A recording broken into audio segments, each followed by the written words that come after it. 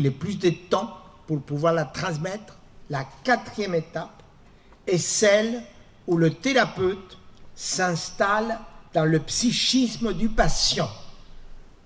Plus exactement, le thérapeute ressent, attention, non pas l'émotion que le patient ressent pendant qu'il parle, mais le thérapeute ressent l'émotion que le patient a ressentie étant enfant, puis oublié. C'est très différent de ressentir l'émotion que ressent consciemment le patient qui me parle et ressentir l'émotion qu'il a déjà ressentie quand il était bébé, enfant ou adolescent, une émotion dont le patient n'a pas conscience, mais qui reste toujours active en lui. Par exemple, je suis devant une femme dépressive. Elle est triste. Elle me dit, cette femme, c'est une femme d'une quarantaine d'années, cinquantaine d'années, elle est triste. Et elle me dit que la vie n'a plus de sens. Elle pleure. L'émotion qui est devant moi, c'est la tristesse. Eh bien, dans cette étape de l'identification, je sens la tristesse de cette dame. Elle sent la tristesse. Et moi, je sens la tristesse. Je sens la tristesse sans en être affecté. C'est ça qui est compliqué à expliquer. Je sais ce que c'est d'être triste, mais je ne suis pas, moi personnellement, triste. Je ne me sens pas affecté.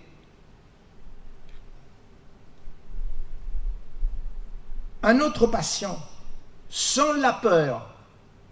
Moi, je sens la peur,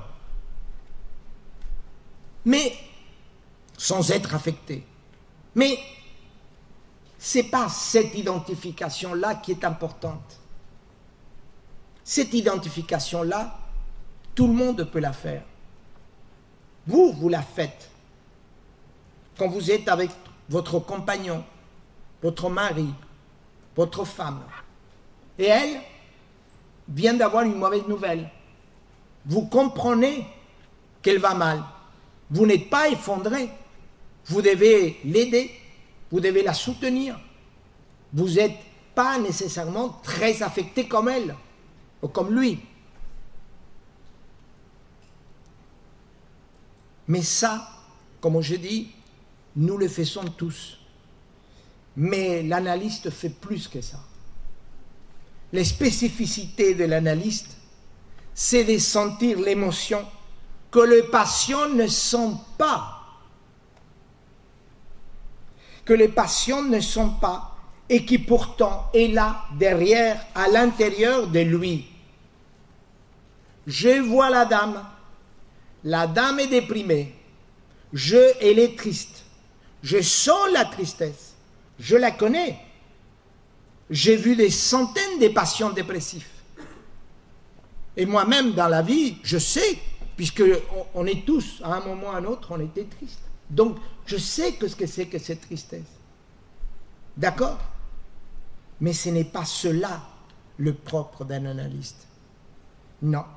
Le propre d'un analyste, c'est qu'il sente la haine qui est derrière la tristesse, qui sente la rage qui est derrière la tristesse.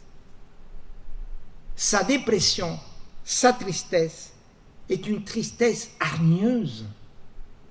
La tristesse du dépressif, c'est pas comme notre tristesse à nous. C'est une tristesse méchante. C'est une tristesse acrimonieuse. C'est une tristesse hostile. Une chose est de ressentir ce que ressent le patient consciemment qui est devant moi, la tristesse, et une autre est de ressentir ce que ne ressent pas le patient, mais qui est présent en moi, l'émotion inconsciente non reconnu par lui. Dans ce cas, la haine. Ça me rappelle ceci que quelquefois me vient de, vous faire part. Quand j'ai commencé mon travail, c'est la deuxième fois que je fais état, c'est parce que j'ai vieilli, alors quand on vieillit, on commence à parler de la jeunesse. Avant, je ne parlais pas de la jeunesse. Je prends toujours cet exemple parce que c'est, vous allez, vous sentez mieux ce que je vais dire.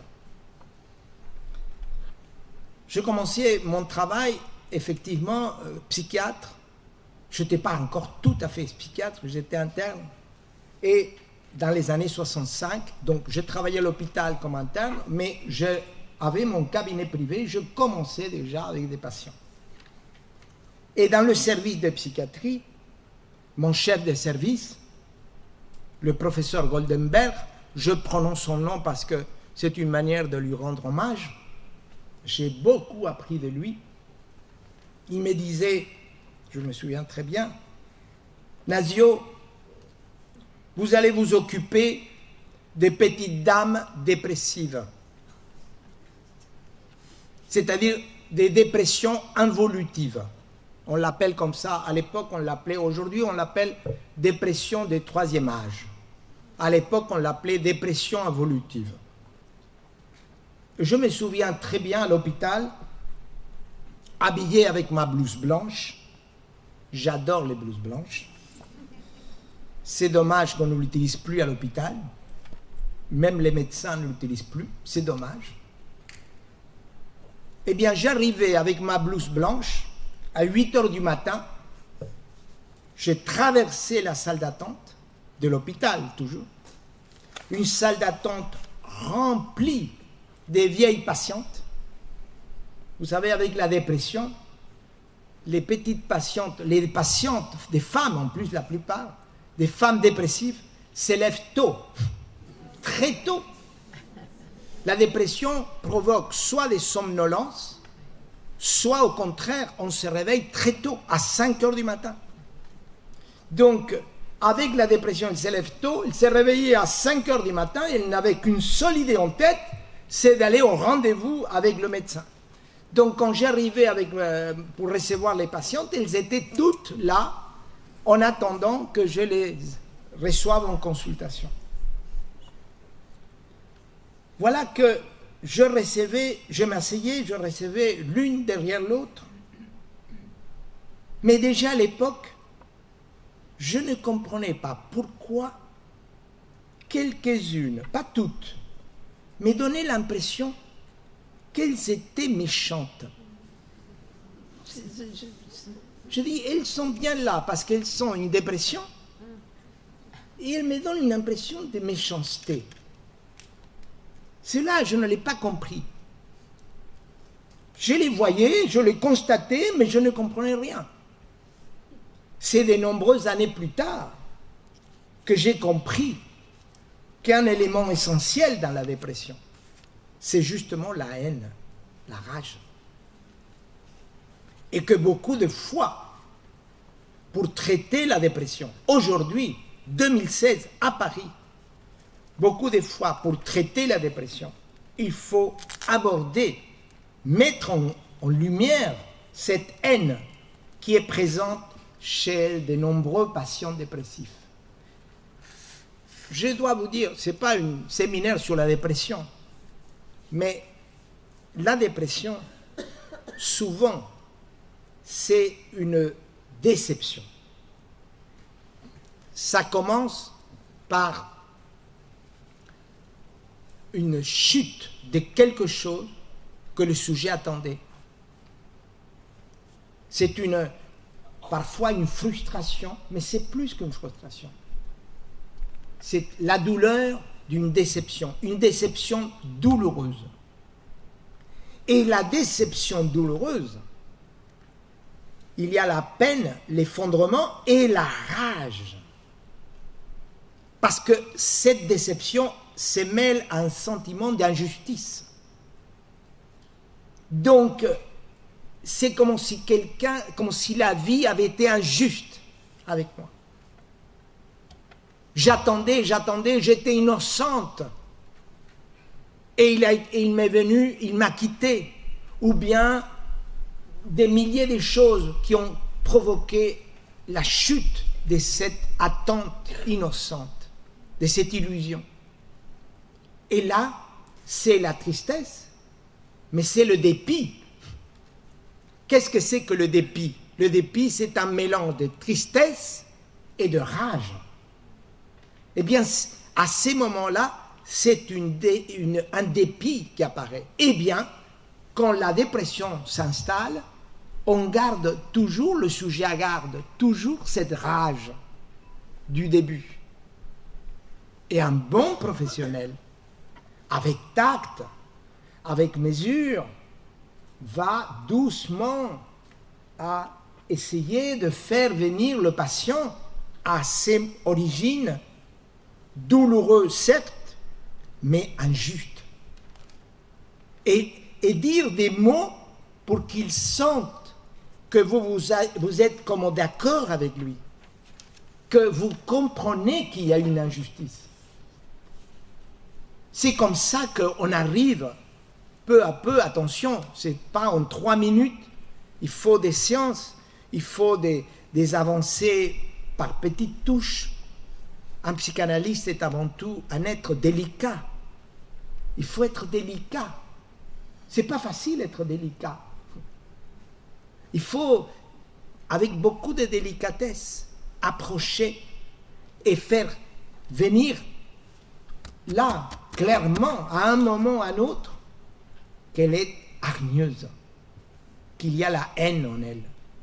Je vous assure, quand vous arrivez à ce point, il y a un tournant décisif dans le traitement de la dépression.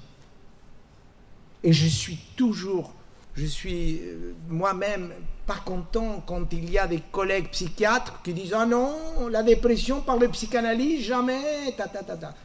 Mais s'il vous plaît, justement, beaucoup des collègues qui s'occupent psychiatriquement, que j'adore parce que sont mes collègues, sont mes frères et je les en comprends, mais ça ne m'empêche pas de dire que beaucoup de fois ils donnent des médicaments antidépressifs, mais jamais ils mettent en lumière le problème de la haine. Et tant que la haine reste là, certainement la dépression va tarder beaucoup à disparaître. Revenons à nous. Je dis que la spécificité de l'analyste, ce n'est pas l'empathie, c'est la double empathie. J'appelle double empathie la capacité de s'identifier avec l'émotion consciente du patient, la tristesse, mais s'identifier aussi avec l'émotion inconsciente du patient, la haine. Je vais revenir et je vais m'expliquer encore plus clairement, mais disons déjà qu'il s'agit d'un phénomène d'identification du psychanalyste avec le ressenti inconscient de son patient. Quatrième étape donc du processus d'écoute, cette quatrième étape m'a amené à une digression. Je reviens donc au processus de l'écoute. Processus de l'écoute que je vous ai dit, c'est cinq étapes observation, compréhension, écoute proprement dite, et maintenant j'ajoutais la quatrième, identification, et venons à la cinquième, finalement, durant la cinquième et dernière étape, l'analyste communique au patient, en l'analysant, l'émotion qu'il vient d'expérimenter lors de ces moments d'identification. C'est ce que je venais de dire tout à l'heure, avec des petites touches, progressivement, sans brusquer, vous faites venir au patient et vous racontez qu'en fait, c'est que là, c'est la haine parce que vous avez senti qu'elle elle était haineuse, parce que vous avez senti la haine qui est derrière sa tristesse. Vous le communiquez avec tact. On va arriver au problème de l'interprétation. Je consacre, deux chapitres dans mon livre au problème de l'interprétation, la manière d'interpréter du psychanalyste. Cinquième étape donc,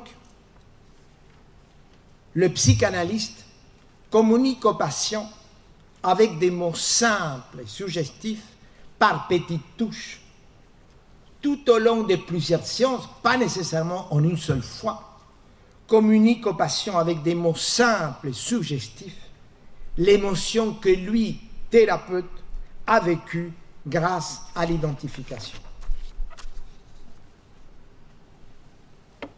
Si vous voulez, on pourrait schématiser en disant le psychanalyste observe, première étape, le psychanalyste essaye de comprendre, deuxième étape, le psychanalyste écoute pleinement, troisième étape, le psychanalyste s'identifie, quatrième étape, et le psychanalyste communique enfin son interprétation, cinquième étape.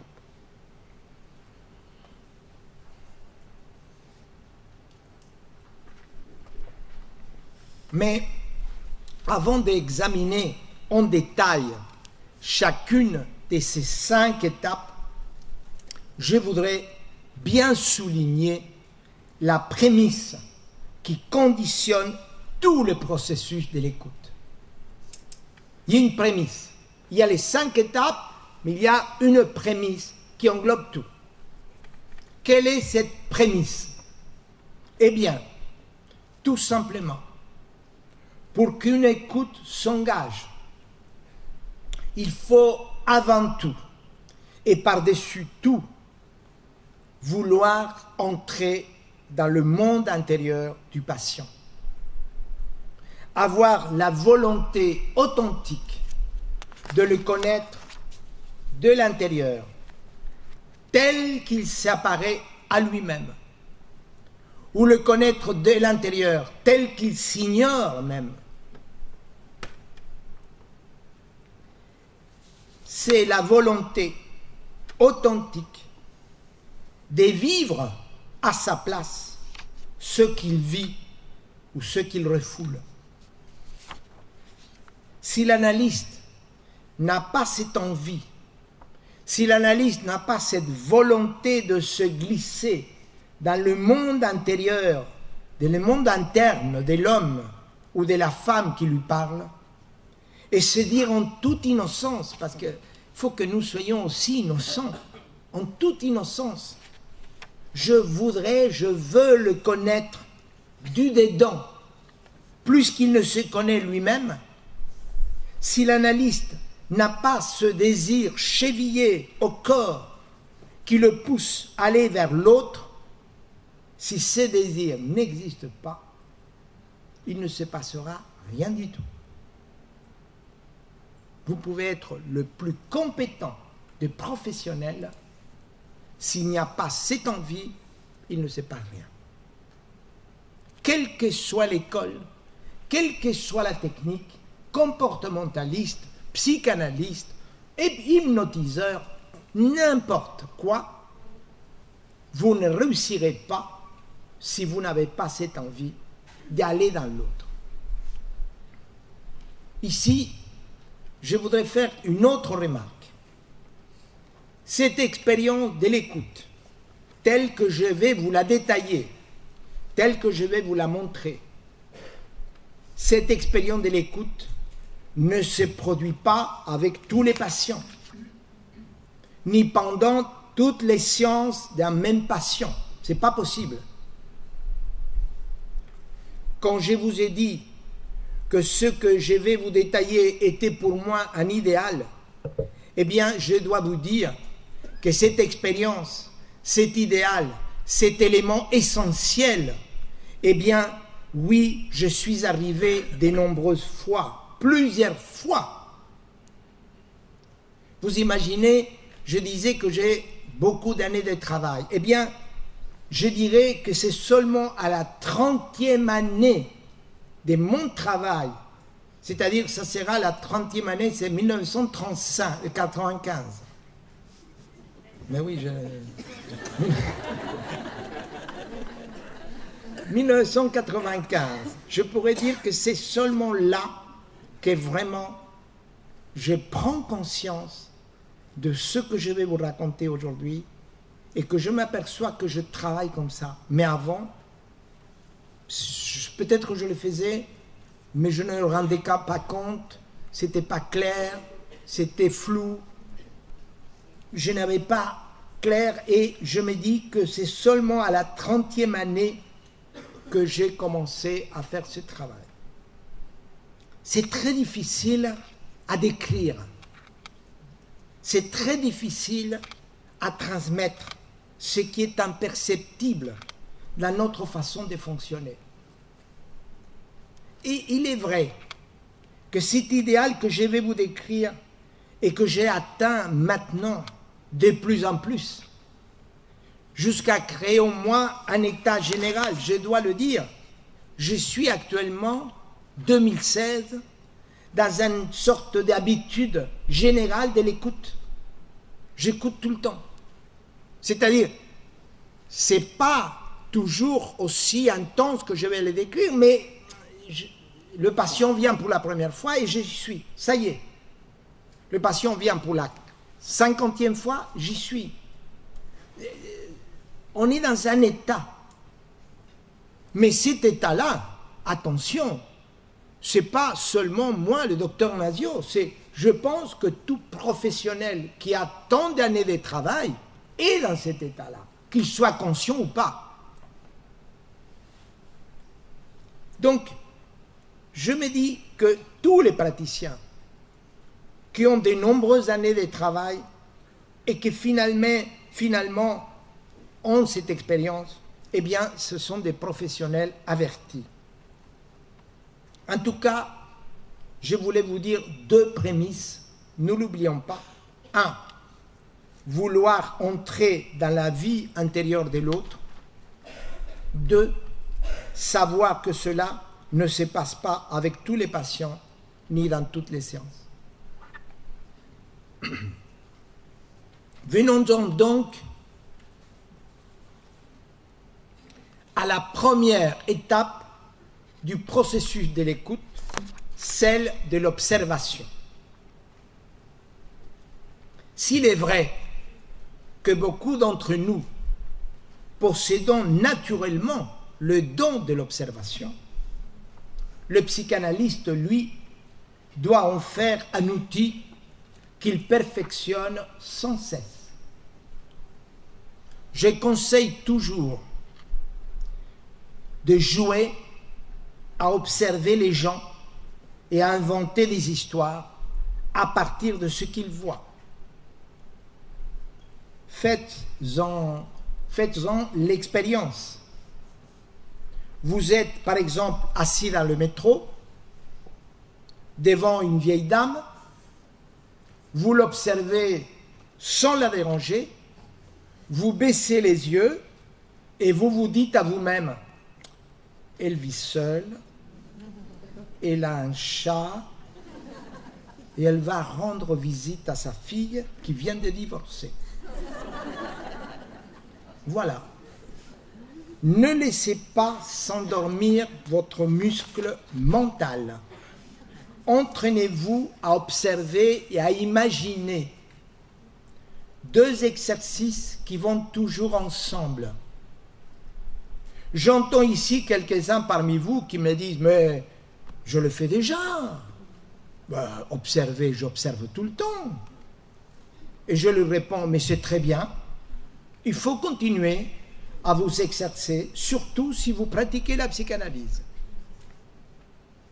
Je me souviens de Dolto qui demandait parfois à ses élèves qui apprenaient la psychanalyse d'enfants de se rendre au square, s'y asseoir tranquillement sur un banc avec un journal et d'observer le comportement des enfants entre eux avec un journal, l'autre jour, comme ça, on épie, et observer les comportements des enfants entre eux et l'attitude des parents ainsi que d'écouter discrètement les mots qu'ils échangent.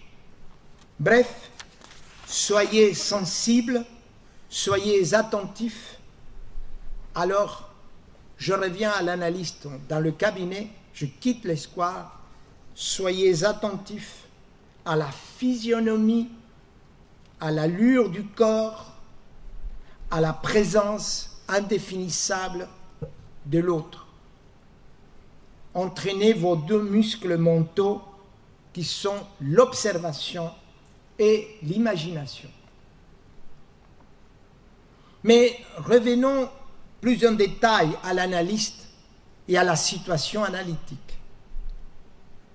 Lors de cette étape initiale de l'observation, habité, rappelez-vous, par la volonté de jeter un pont vers l'inconscient de l'autre, l'analyste observe donc les comportements et les innombrables manifestations non verbales de son patient. Sa démarche, le timbre de sa voix ou la brillance de son regard. En fait, une bonne écoute commence par une fine observation. Dès que j'accueille les patients dans la salle d'attente, toute ma sensibilité est en éveil, que ce soit ma sensibilité visuelle, auditive, olfactive, voire tactile. Lorsque, par exemple, je lui serre la main et la sens froide, molle ou moite. De même, je prête une attention particulière aux sacs et paquets que parfois le patient apporte avec lui en séance. Il est vrai que si une patient vient avec un sac et le laisse ouvert, eh ben je regarde ce qu'il contient. Avec, avec euh, discrétion, mais je regarde. Quelquefois, je lui demande Qu'est-ce que vous avez là? Ou bien quel livre lisez-vous Parce qu'elle apporte un livre? Mes patients savent que je suis attentif à ce qu'ils apportent en science et parfois ils le font sciemment de laisser apporter quelque chose et de laisser ouvert. De même, je sens les odeurs, en particulier l'haleine alcoolisée de cet homme qui, malgré les pastilles de menthe qu'il mâchonne, ne parvient pas à la camoufler, cette haleine. Il ne sait pas que la laine ne vient pas de la bouche, que la laine, ce sont les souffles des poumons, et que ces poumons et son souffle est imprégné d'alcool, et que vous pouvez mâchonner tous les pastilles que vous voulez, mais que la laine va être une haleine alcoolique. Ça, beaucoup de patients alcooliques ne le savent pas. C'est dans le sang, l'alcool est dans le sang, donc dans les poumons, donc dans le souffle. Quand il s'agit d'un enfant assis à la table de jeu, j'observe sa manière de tenir son corps, d'utiliser ses mains ou de bouger ses pieds, et si c'est un adulte en face à face, je reste attentif aux messages, aux traits, aux, expressions pardon, distraites du visage et aux messages subtils des yeux. Bref, un psychanalyste n'écoute pas seulement avec ses oreilles, il est réceptif à tous les signes par lesquels un être communique sa vie. À partir de cet ensemble des indices, et dans une deuxième étape, il arrive souvent aux praticiens de ne pas comprendre, derrière la plainte du patient, quel est le conflit larvé qui cause son mal-être. L'analyste ne comprend pas. Ça nous arrive tout le temps de ne pas comprendre exactement ce qui se passe, de ne pas comprendre pourquoi il est mal. L'analyste ne sait pas quelle piste suivre, ni quelle porte ouvrir pour accéder à l'inconscient de l'autre. Il hésite, il tâtonne dans une obscurité qui précède et prépare l'instant le plus décisif de l'échange avec l'analysant, celui de l'écoute proprement dite, c'est-à-dire la troisième étape. Il arrive qu'à un tournant de la science, le thérapeute soit attiré par un mot ou par un mouvement corporel du patient, par exemple la manière que l'analysant a de bouger sur le divan s'il est allongé, ou si c'est un enfant, par un détail de son dessin, l'un de ces détails attire son attention et comme s'il avait été piqué par un aiguillon, l'analyste se sent soudain entraîné dans un effort de concentration intérieure. Il rentre alors en lui, s'isole mentalement et réussit à atteindre ce que j'appelle le silence en soi. C'est-à-dire qu'il parvient volontairement, attention, volontairement, à faire taire en lui, à ne plus entendre à l'intérieur de lui les échos de ses préoccupations quotidiennes, de ses projets personnels, ou même les considérations théoriques sur le cas de celui ou celle qui lui parle. Mais qu'est-ce que c'est que la concentration? Que signifie se concentrer? La concentration est l'action d'une force interne qui est avant tout une force d'inhibition. La concentration, c'est une force qui rejette et annule les pensées inutiles et parasites. Et en même temps, c'est une force qui concentre toute l'énergie disponible pour réaliser un geste essentiel propre à la troisième étape. Quel est ce geste? Avant de vous répondre sur les gestes de la troisième étape, grâce à la concentration, grâce au silence intérieur qu'il a fait, je voudrais vous préciser encore, je voudrais vous insister à dire que la faculté de l'analyste de savoir se concentrer, c'est-à-dire de savoir installer en lui un silence fécond, cette concentration, cette installation en lui d'un silence fécond est une action délibérée que j'appelle forclusion volontaire, c'est-à-dire annulation, inhibition de tout sens produit par le moi. Je voudrais maintenant vous montrer un schéma. Est-ce que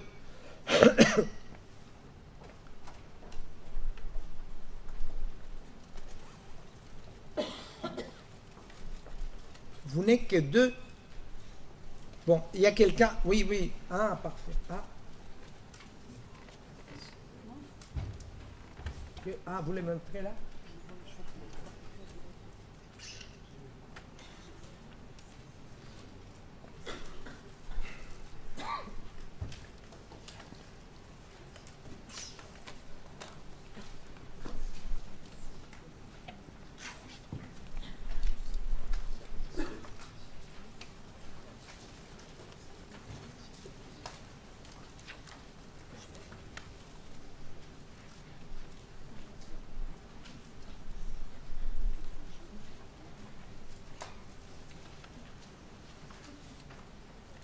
Ça y est, tout le monde là. Il y a des gens qui ne l'ont pas eu. Alors là, il y a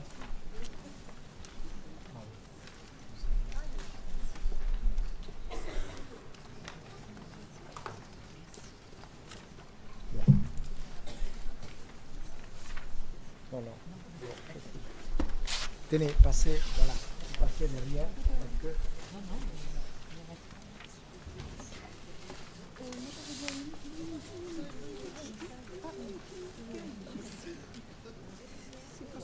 C'est bon? Tout le monde a?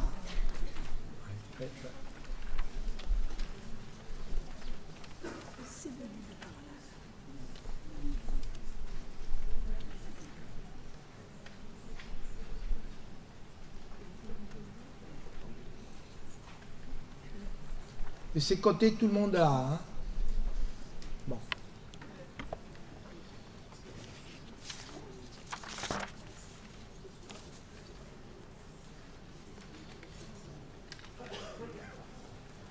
Voilà.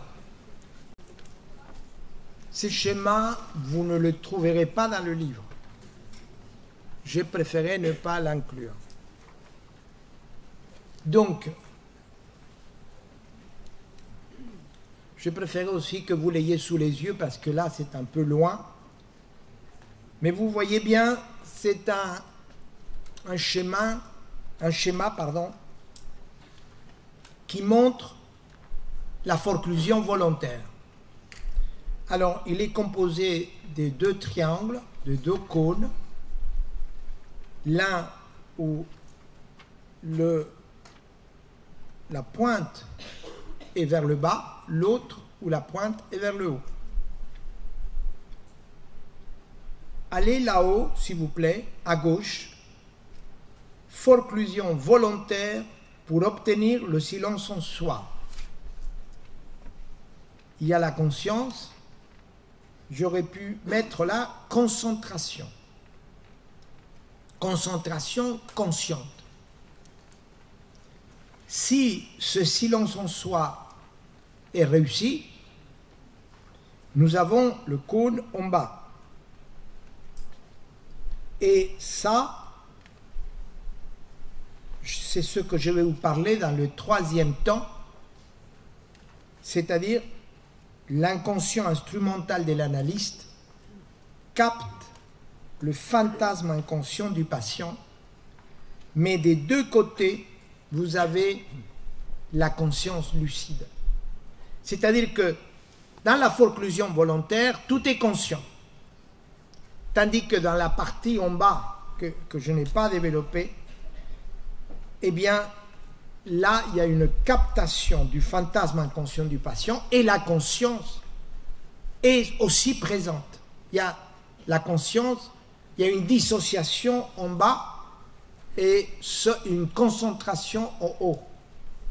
Donc le cône supérieur, j'écris en bas la légende, schématise le mouvement en espirale de la forclusion volontaire en vue d'obtenir le silence en soi tandis que le cône inférieur schématise la dissociation de l'analyste entre son inconscient instrumental et sa conscience lucide. Éventuellement, nous reviendrons sur ces schémas-là. Venons maintenant à la troisième étape, sur laquelle je voudrais m'arrêter plus longuement, car c'est maintenant que les praticiens se véritablement en état d'écoute, c'est-à-dire en état, attention, de percevoir à l'intérieur de lui, au sein de son silence intérieur, ce qui s'impose dans son esprit. Attention, je viens de dire percevoir à l'intérieur de lui, c'est-à-dire que le thérapeute s'auto-observe. S'auto-observe. Voici l'idée. Nous sommes installés dans un état d'écoute lorsque, ayant quitté notre moi avec la forclusion volontaire, oublié le temps et l'espace immédiat, nous rentrons en nous-mêmes pour rencontrer dans notre silence ce que l'autre a fait brusquement jaillir en nous une scène imagée chargée d'émotions. Je disais, je vais m'expliquer, je disais tout à l'heure qu'il fallait distinguer le verbe entendre du verbe écouter. Entendre l'autre, c'est aller vers l'autre au dehors. Là, vous m'entendez, vous venez de vous vers moi vous êtes toute oreille, toute compréhension vers moi. Écouter l'autre, c'est très différent. Écouter de l'autre, c'est vous fermer les yeux. Vous ne me regardez pas et vous rentrez en vous. c'est descendre en nous-mêmes, à l'intérieur de nous-mêmes, pour y rencontrer une scène venant de l'inconscient de l'autre. Voilà la distinction essentielle qui parcourt tout mon exposé de cet après-midi. Écouter, ce n'est pas faire ça, écouter, c'est faire ça. Rentrer en soi. C'est inouï, mais c'est ainsi. Ce n'est qu'au-dedans de soi que l'on rencontre l'autre. Ce n'est qu'au-dedans de soi que l'on rencontre l'autre. Je commence par observer l'autre en dehors de moi, mon patient, mais c'est à l'intérieur de moi que je rencontre son inconscient, son être le plus intime. Je vais approfondir cette affirmation, mais j'imagine que certains d'entre vous qui n'ont pas fait l'expérience d'une analyse, soit en tant que patient, soit en tant que thérapeute, auront du mal à concevoir l'expérience de l'écoute telle que je la décris. Or, quand le psychanalyste écoute aussi intensement, que perçoit-il Il perçoit en lui-même, à l'intérieur de lui-même, une scène. Une scène extraite de l'inconscient de son patient. Que vais-je dire? Qu'il perçoit une situation scénique qui s'anime dans son esprit. À ces moments de l'écoute, où le psychanalyste rentre en lui-même, il se dissocie entre le sentiment d'être tout entier à paix par la scène imagée qui s'impose à lui, à l'intérieur de lui, et la pleine conscience lucide de ce qu'il éprouve. C'est la partie en bas du schéma. Quand j'ai dit il est dissocié, parce que d'un côté, il y a au centre la captation, et en même temps, il y a les deux triangles de la conscience lucide.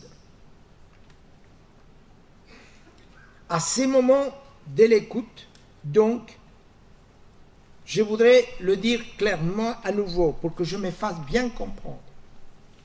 L'écoute, je reprends tout. L'écoute est un processus mental subtil, difficile à saisir. Premier temps, j'observe. Deuxième temps, je ne comprends pas. Troisième temps, je suis piqué par un aiguillon un détail m'attire que je n'attendais pas. Étant appelé, j'opère alors une forclusion volontaire, c'est-à-dire que je me concentre jusqu'à faire le vide en moi. Je rentre ainsi à l'intérieur de moi et au cœur du silence que j'ai créé, je perçois une situation scénique extraite de l'intimité profonde de l'analysant. Cette perception m'installe dans un état de dissociation. Je suis devant mon patient parfaitement lucide, il m'écoute, je l'écoute, il me voit, pas de problème. Mais à l'intérieur de moi, j'ai une captation de l'inconscient, de son inconscient. Mine de rien, je suis en train de capter l'inconscient de son patient.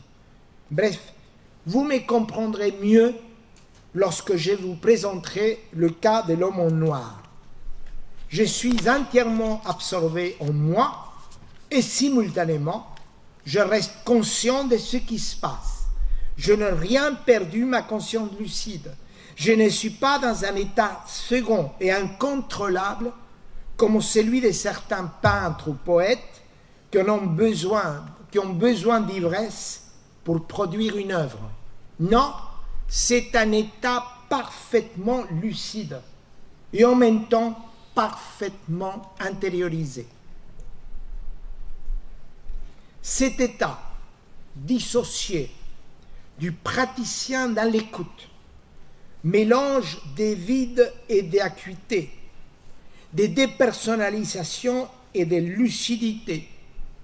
Cet état dissocié d'un soi, empli de la présence de l'autre, sous l'œil d'une conscience lucide, cet état a été admirablement défini par Freud en une phrase que j'aimerais vous citer. Freud l'a écrite en 1923 dans un texte. On lui avait demandé à l'époque, en 1923, la psychanalyse commençait à être connue et l'encyclopédie britannique lui demande à Freud s'il peut faire un résumé de la psychanalyse. Et c'est un merveilleux petit texte qui est dans le, je crois que c'est dans, dans Résultat idée problème numéro 1 ou numéro 2. C'est en tout cas un article de 1923. Freud fait le résumé de la psychanalyse pour, pour l'encyclopédie britannique, c'est-à-dire pour les anglophiles, anglophones. Et alors, il écrit ceci, le psychanalyste se comporte de la façon la plus adéquate s'il s'abandonne à lui-même, s'il s'abandonne à sa propre activité mentale inconsciente, évite le plus possible de réfléchir et d'élaborer des idées conscientes, des raisonnements conscients, et capte de la sorte l'inconscient du patient avec son propre inconscient. Je voudrais vous la répéter parce que c'est magnifique. Elle m'inspirait beaucoup pour faire ce texte. Le psychanalyste se comporte de la façon la plus adéquate s'il s'abandonne à lui-même. S'abandonne à lui-même. Se laisse aller. S'il s'abandonne à sa propre activité mentale inconsciente. Donc, je me laisse aller et je me laisse aller à mon inconscient. J'évite le plus possible de réfléchir et d'élaborer des attentes conscientes. Et alors voilà, la fin de la citation est merveilleuse. Et je capte de la sorte l'inconscient du patient avec son propre inconscient. Et capte l'inconscient du patient avec son propre inconscient. 1923. En effet, nous écoutons lorsque nous nous abandonnons à nous-mêmes, à notre propre activité mentale inconsciente. Nous écoutons quand toutes nos forces sont concentrées en un mouvement vers l'intérieur de nous-mêmes, comme pour éviter notre moi, faire silence en nous et retrouver en nous l'inconscient de l'autre. Dans cette disposition mentale des grandes ouvertures, infiniment éveillée, j'insiste, lucide, l'analyste voit surgir en lui la fiction d'un personnage qui représente le patient dans une scène imaginaire inconsciente. Une scène pas nette, c'est pas net, c'est flou.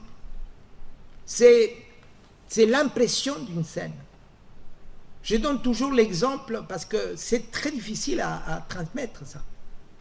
Quand vous êtes, quand vous jouez aux échecs et vous réfléchissez au mouvement de votre adversaire et vous prévoyez le coup qu'il peut faire pour que vous fassiez un autre coup, lorsque vous réfléchissez, il n'y a pas une image nette.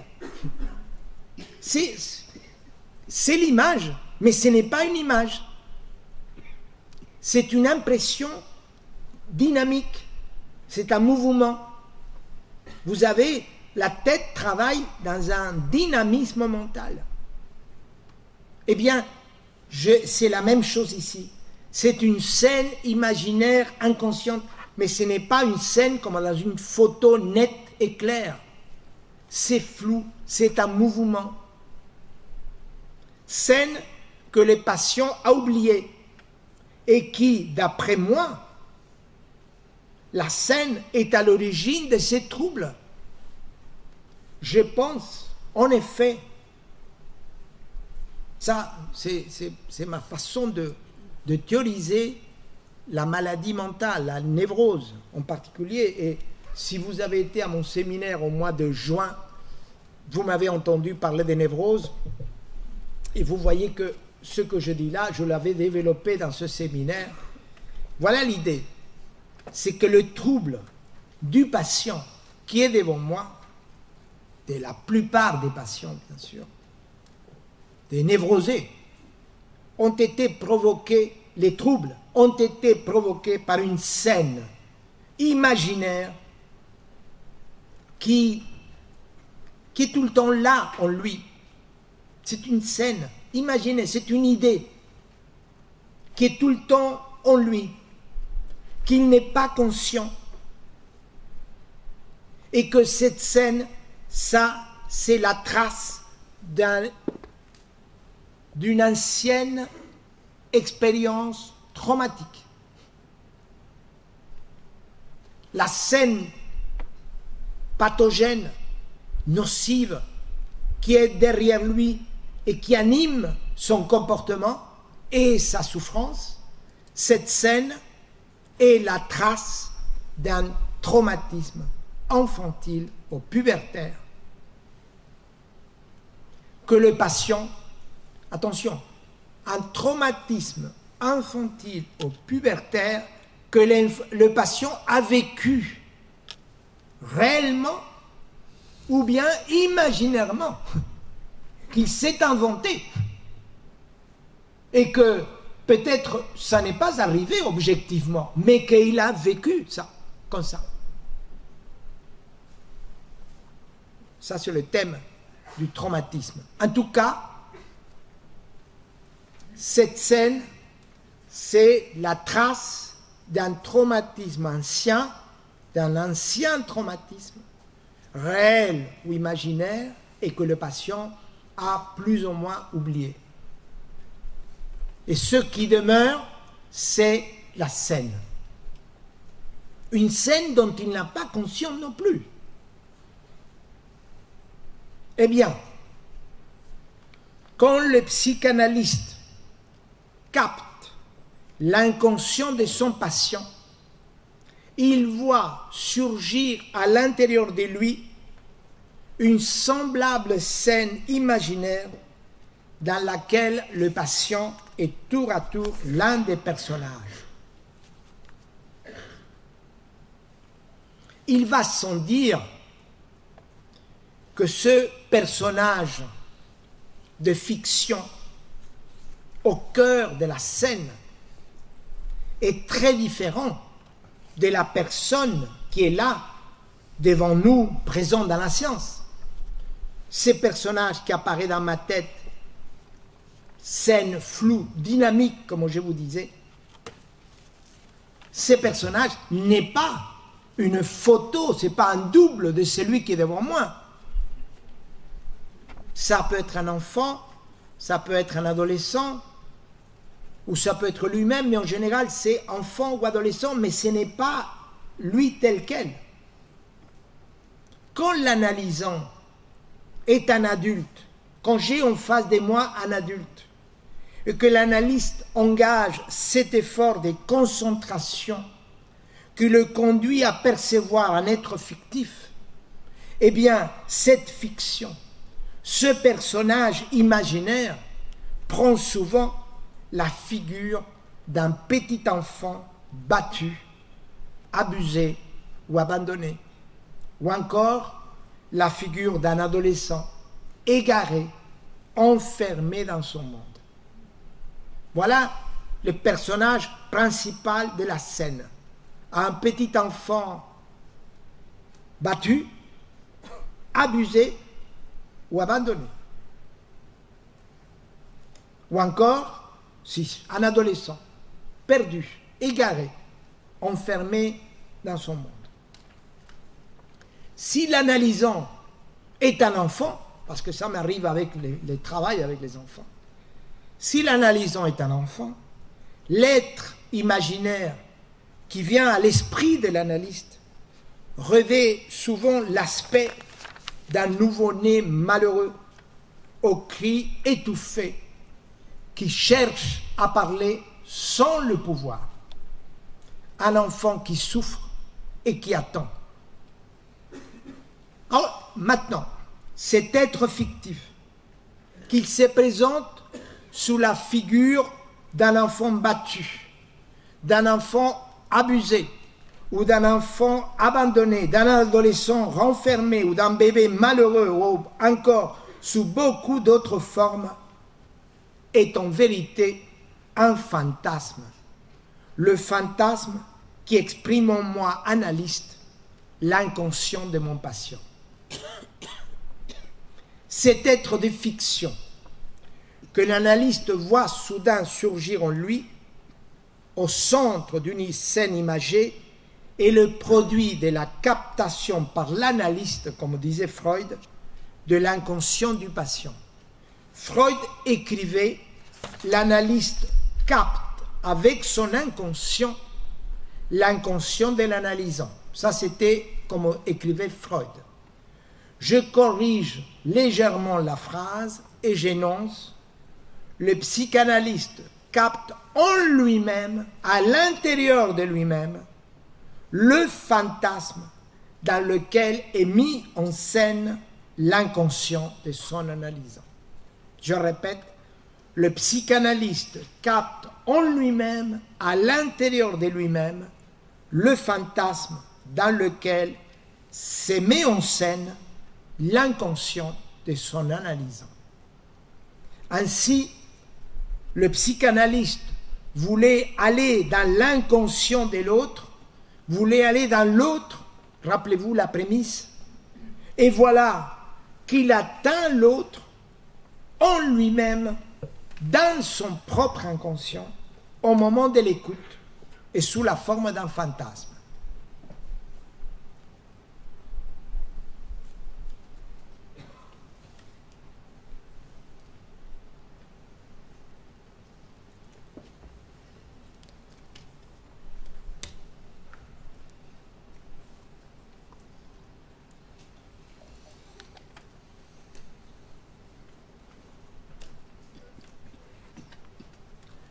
Ceci étant, cela admis, si vous m'avez suivi jusqu'ici, je vous entends m'objecter ce fantasme que vous dites perçu par l'analyste, Monsieur Nazio, ce fantasme est-il une manifestation de l'inconscient de l'analysant? Ou bien ne serait-il pas une simple rêverie du praticien? Comment savoir si le fantasme que nous percevons provient de nous?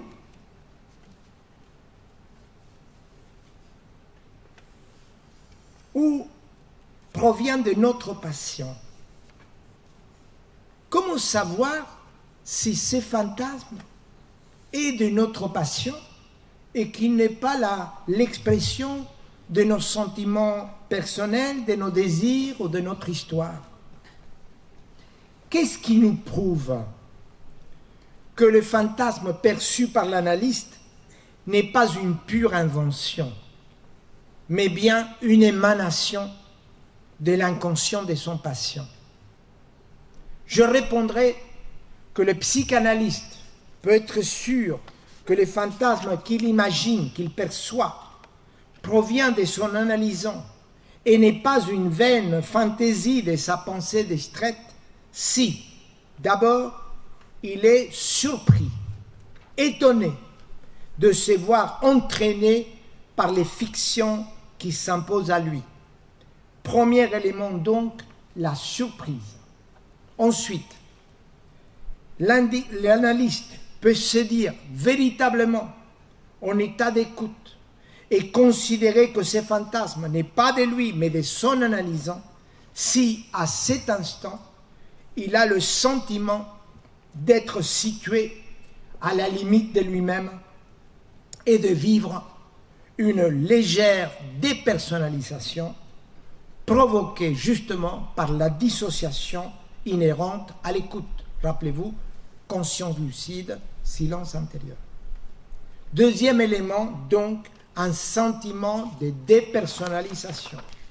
Et enfin, l'analyste peut se dire que ce fantasme n'est pas de lui, mais de son analysant, si, ayant communiqué cette fiction au patient, celui-ci lui répond par un silence, pas n'importe quel silence, mais un silence dense et tendu, très souvent ponctué d'une phrase que nous analysons répète souvent, c'est vrai, je n'y avais jamais pensé.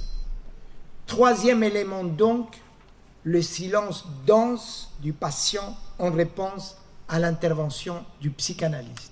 Bref, la surprise. Deux, le sentiment de dépersonnalisation.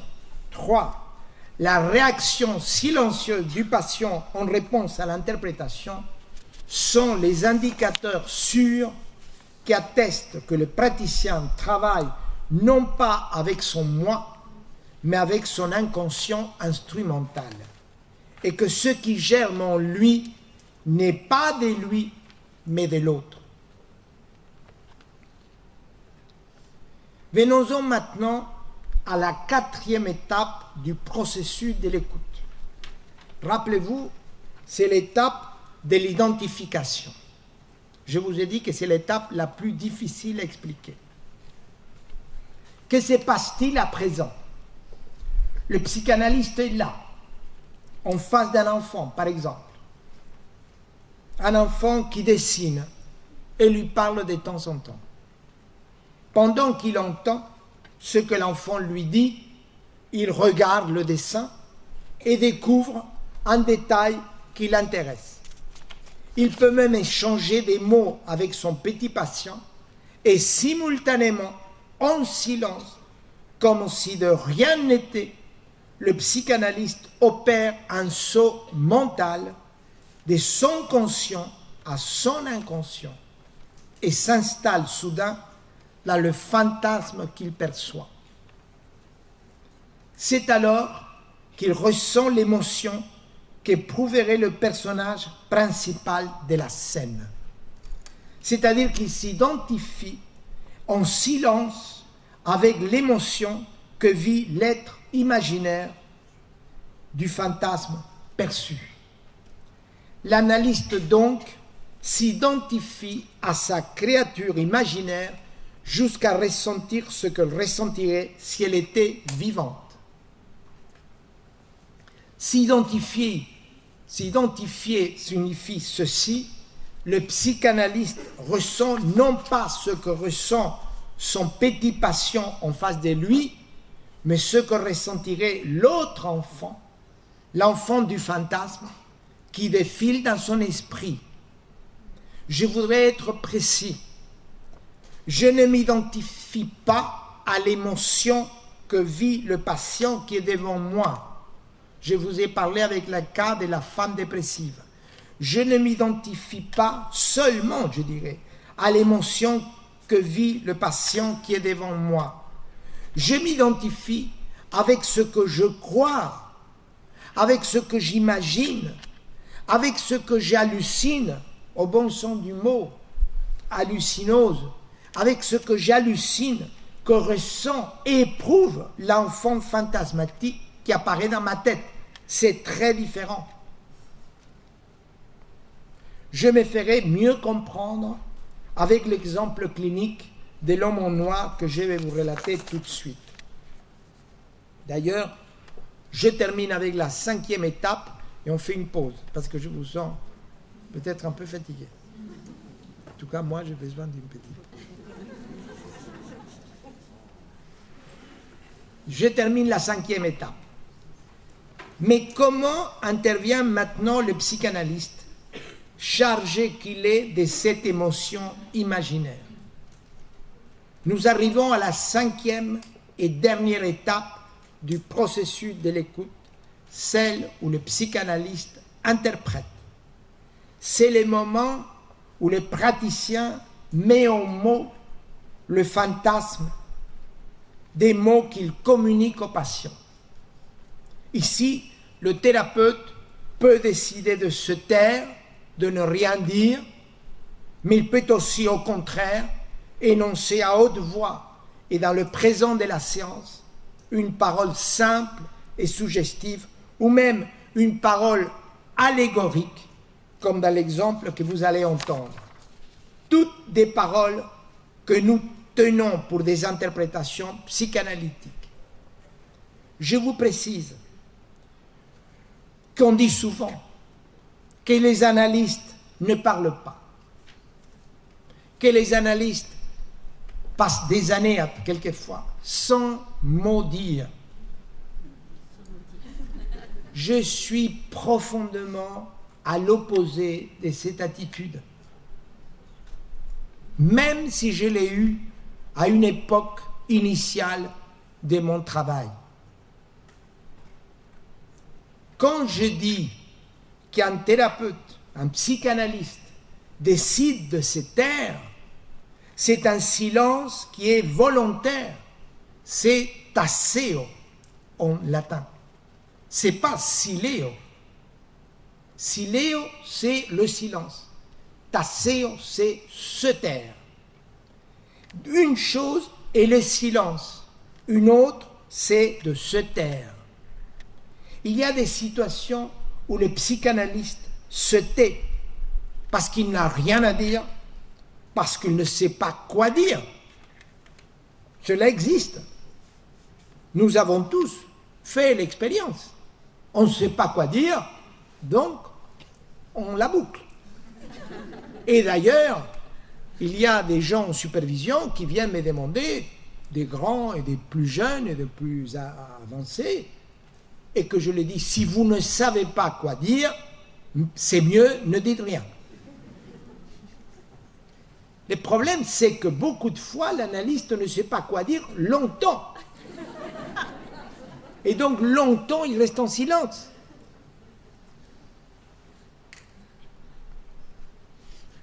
Parfois, c'est un peu exagéré. C'est très mauvais pour la réputation de la psychanalyse. Je sors mon livre qui s'appelle Oui, la psychanalyse guérie.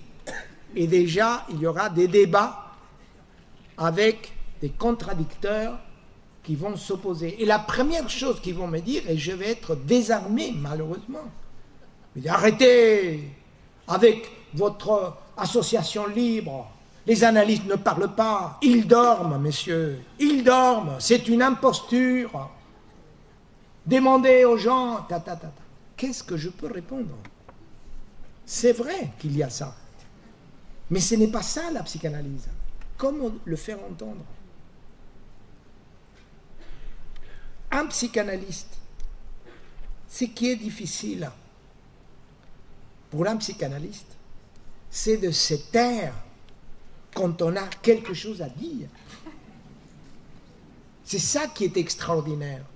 Parce qu'un psychanalyste qui se tait quand il a quelque chose à dire, c'est un psychanalyste qui a le tact, qui a le sens de la situation, qui trouve que ce n'est pas le moment de parler, qui trouve que ce n'est pas le moment d'intervenir.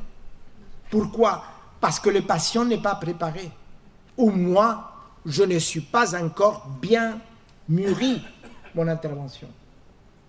C'est ça qui est important. C'est de faire silence quand on a tant à dire, quand on est chargé d'une parole. Ça, c'est difficile. Et c'est ça le vrai silence quand un psychanalyste décide de se taire.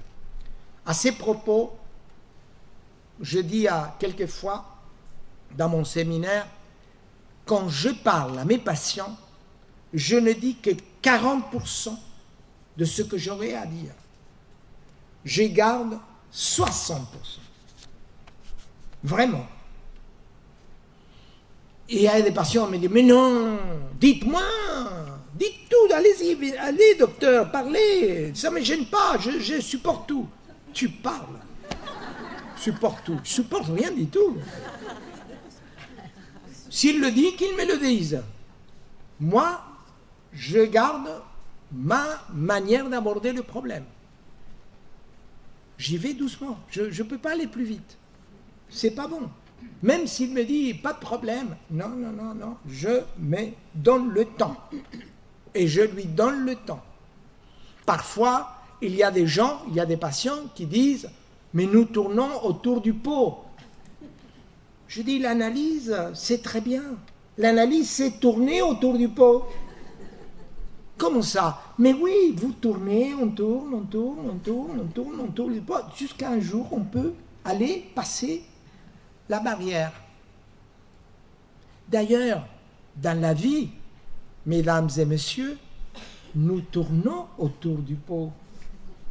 Chacun de nous, nous avons fait, fait le bilan. Chacun de nous doit avoir un ou deux problèmes majeurs. Un ou deux problèmes qui nous pèsent et que nous traînons et que on ne sait pas comment résoudre et que nous nous habituons à porter avec nous et que on essaye au mieux possible de les porter, de ne pas perturber notre vie et surtout si nous sommes en, en partenaire avec un compagnon ou une compagne, de ne pas gêner l'autre trop c'est un conflit, ce sont des conflits. Il doit y avoir deux conflits par personne.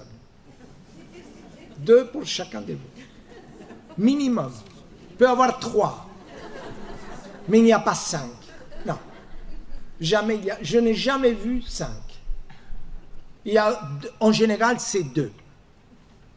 Eh bien, là, c'est ça qui me paraît important, qu'il faut du temps il faut tourner autour du pot pour que ces conflits soient traités. On ne peut pas le traiter comme si c'était automatique, comme si nous étions des robots. C'est, une relation humaine, émotionnelle, formidable, formidable, merveilleuse. Et ça, il faut que nous se donne le temps. Bref, si nous devions résumer en une seule phrase l'essentiel du processus d'écoute, et avec ça je vais faire la pause, si nous devions résumer en une seule phrase l'essentiel du processus de l'écoute, nous ferions parler l'inconscient du psychanalyste qui dirait ceci. Une fois le silence intérieur installé,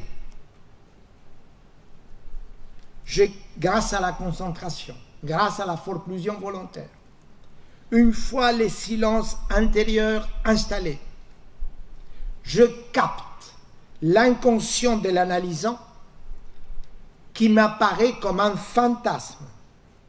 Puis je plonge dans ce fantasme, le ravive, le dramatise et le traduis enfin en un court récit ou en des paroles que je communique aux patients. Voilà, on va arrêter là. Je vous remercie. On reprend d'ici une demi-heure. Donc, je voudrais terminer mon exposé en prenant l'exemple clinique qui illustre l'usage instrumental de l'inconscient du psychanalyste au sein, d'une séance, au milieu d'une séance. Vous verrez là ces trois moments de l'écoute. L'écoute proprement dite. Deux, l'identification. Trois, la, l'interprétation. C'est ça que je voudrais vous montrer. Cet exemple clinique montre ces trois temps, les trois derniers temps du processus de l'écoute. Vous vous rappelez, premier temps, observation, deuxième temps, compréhension, Troisième temps, écoute proprement dite. Quatrième temps, identification. Cinquième temps, donc, l'interprétation. J'aurais pu dire, l'écoute proprement dite, c'est une plongée endopsychique de l'analyste. C'est-à-dire que c'est une plongée à l'intérieur de lui-même. Donc je pourrais dire, vous allez voir l'exemple de ce que c'est qu'une plongée endopsychique, deux, ce que c'est qu'une identification, trois, ce que c'est qu'une interprétation. L'analysant un jeune homme de 26 ans a cette particularité étrange de s'habiller en noir, tout en noir. Depuis le premier rendez-vous où je l'ai reçu, il porte immanquablement un costume noir, toujours le même, une chemise et une cravate noire, et se présente à ses séances accompagné de son inévitable parapluie noir, d'une paire de gants et d'un porte-document tout aussi noir. C'est un jeune homme aux cheveux soigneusement coiffés, de très belle allure, duquel émane une certaine dignité mêlée d'une souffrance profonde.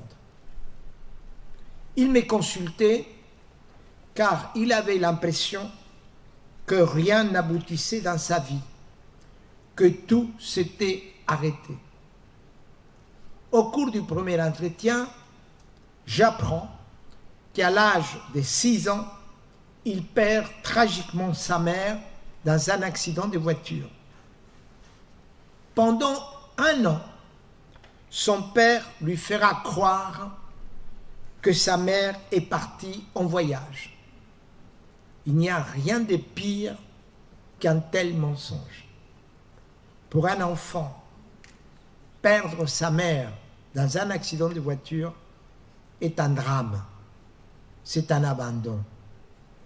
Si la mère part en voyage, c'est un rejet. C'est pire. Et le père, comme font beaucoup des parents, ne veulent pas que les enfants partagent la mort, partagent la peine que nous avons lorsque quelqu'un meurt, quelqu'un de proche. Je dis non, il faut que l'enfant voit, vous voit madame, vous voit pleurer, que l'enfant sente que vous, vous souffrez de perdre. Ne craignez rien, il saura mieux que vous intégrer votre souffrance. Laissez-le être le témoin de la mort.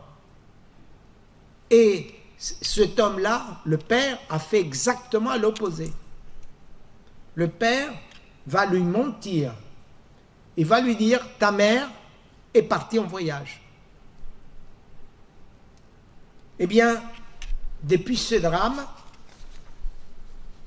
les patients n'est jamais parvenu à trouver des attaches affectives, que ce soit auprès d'un père froid et indifférent ou auprès de divers, membres de sa famille. Des attaches qui lui auraient permis peut-être de faire son deuil.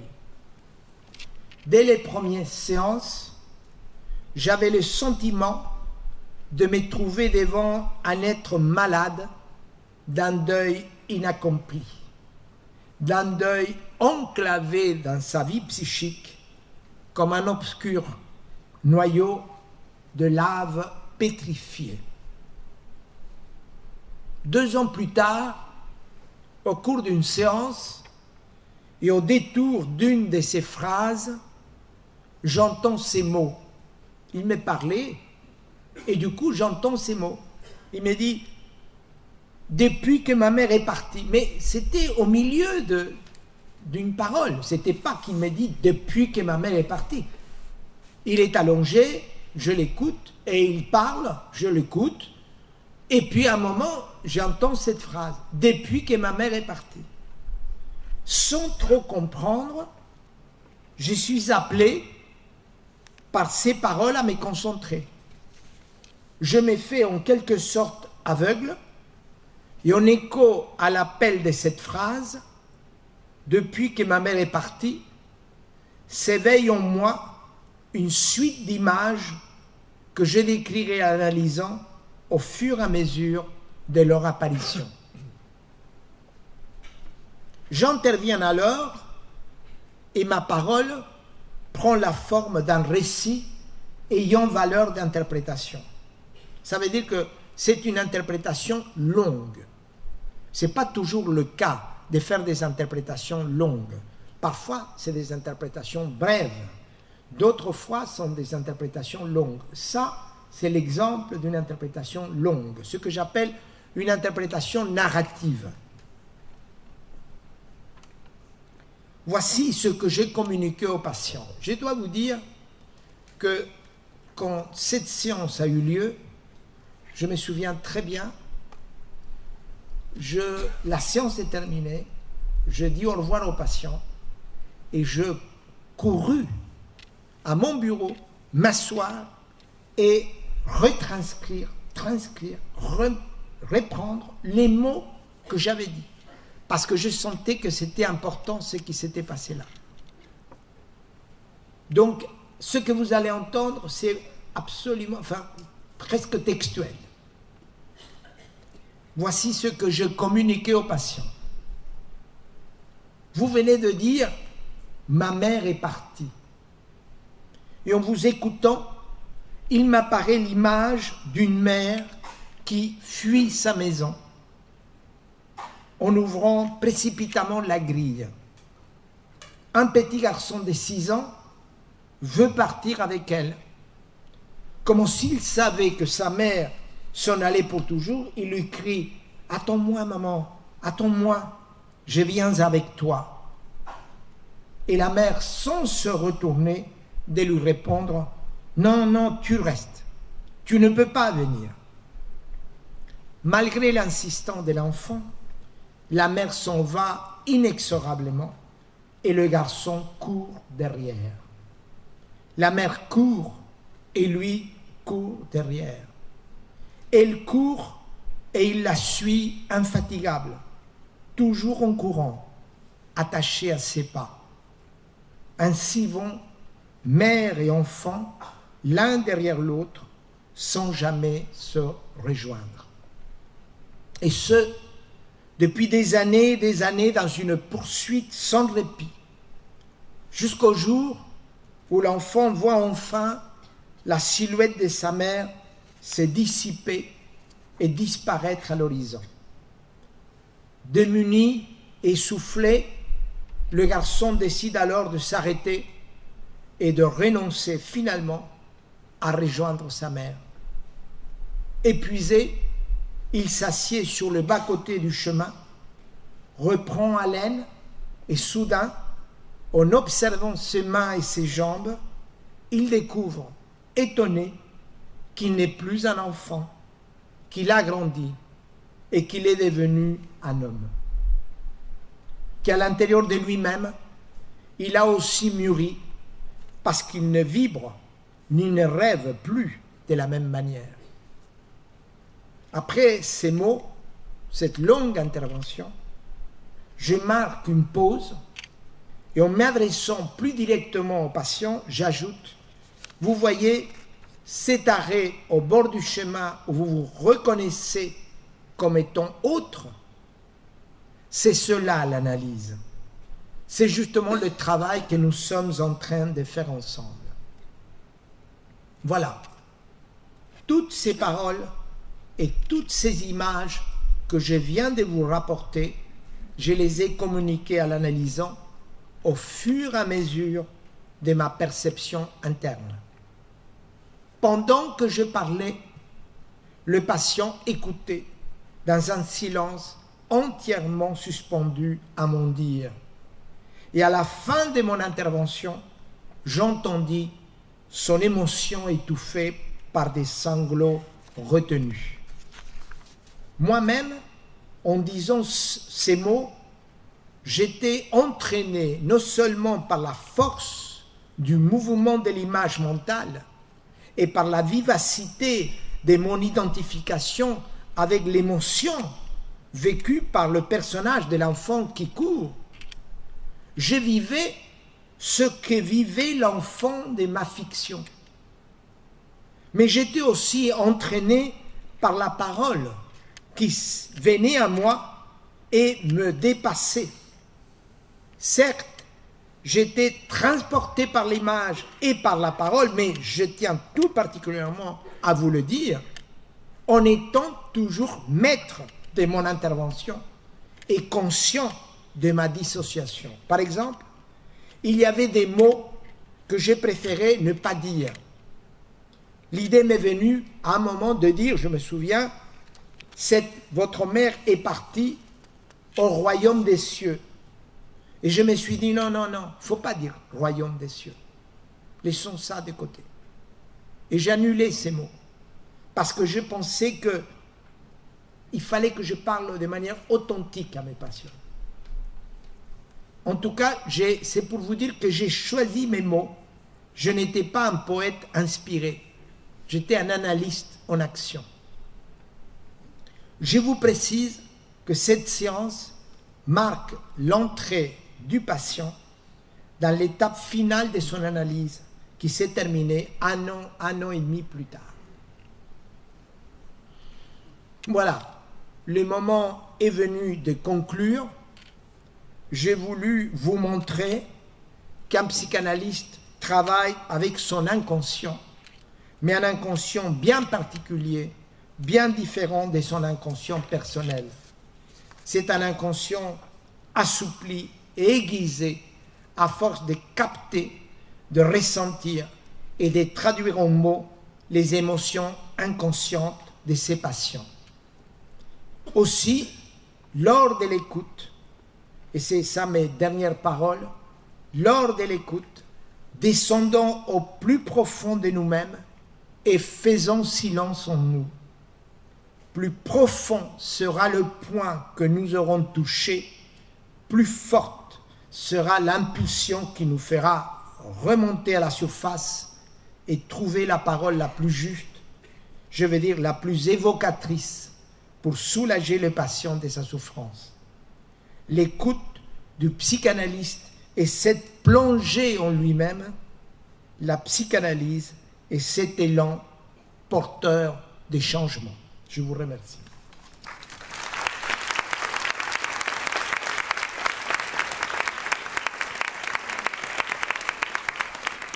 Bien, c'est 5 heures moins 10, donc nous avons du temps, il y a de micro dans la salle. J'aimerais bien avoir vos, réactions, questions, remarques.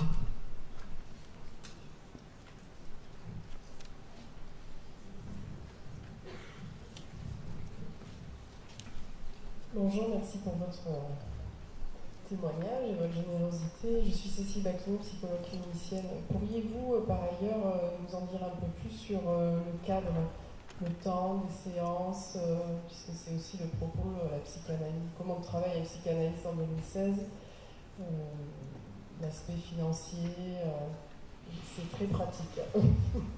oui, oui. D'abord, j'ai mon cabinet qui est des couleurs chatoyantes. J'ai horreur des couleurs obscures il n'y a presque pas de livres.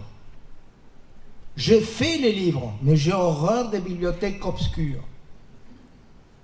Mes bibliothèques sont dans la cave. J'ai deux caves de bibliothèques. Merveilleuse cave où je peux descendre, m'asseoir et lire. Donc, imaginez le cabinet de couleur jaune, rose, orange, très dégagé. J'ai mon fauteuil, à ma gauche, il y a un divan, et en face, il y a un fauteuil pour le patient qui va s'asseoir. C'est un fauteuil pivotant. Je veux que le patient puisse tourner, pas qu'il soit figé. Et à ma droite, il y a une immense table de 2 mètres de long. Voilà la description de mon bureau. En sortant, j'ai deux salles d'attente. Une salle d'attente habituelle et à côté une autre salle d'attente parce que parfois il y a des familles qui viennent avec les enfants et il faut qu'ils trouvent une place pour rester dans la salle d'attente. Parfois, m'arrivent des situations un peu particulières Je n'imaginais pas que j'allais vous raconter ça, mais pourquoi pas. Ça s'est passé mardi dernier, à 10h du matin. Il faut savoir que c'est un psychanalyste qui parle. Hein.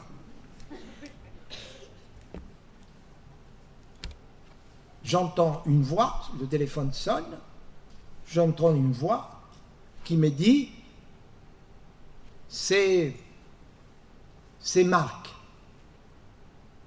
On n'entendait pas. Pardon? Marc. On n'entendait presque pas. Et il pleurait.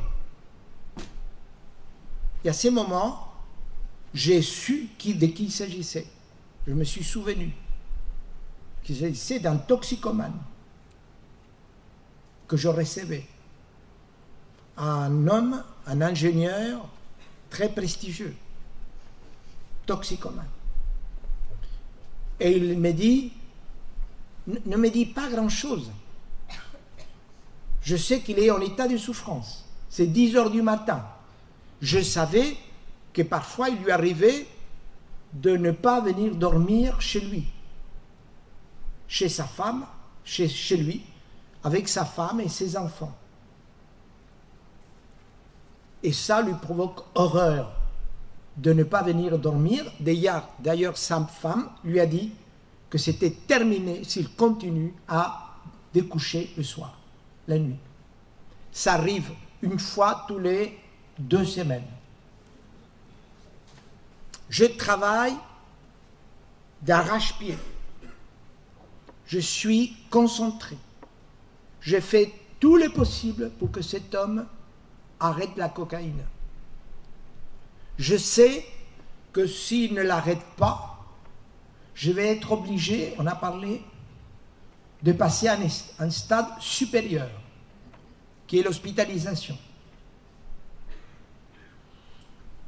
Je reviens à mon histoire pour voir le fonctionnement de la salle d'attente, celle que je ferme avec la porte. Donc, il vient, je dis, venez, ne prenez pas la moto. Voilà l'analyste. Voilà l'analyste. Ne prenez pas la moto. Je dis, s'il prend la moto dans cet état, il va avoir un accident. Ne prenez pas la moto. Venez, venez tout de suite. Vous voyez la disponibilité. J'ai deux patients. Depuis le matin, toutes les heures sont prises. Je n'ai pas le temps. Je n'ai pas le temps. Je ne suis pas un analyste chronométré. Bien sûr, je dérange parce que je vais faire attendre. Donc, j'ai le choix. Ou je suis chronométré, il y a un homme qui me téléphone, je lui dis, écoutez, téléphonez-moi ce soir, on verra. Ou bien je lui dis, venez.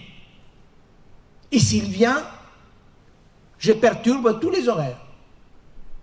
C'est mauvais pour mes patients qui doivent attendre.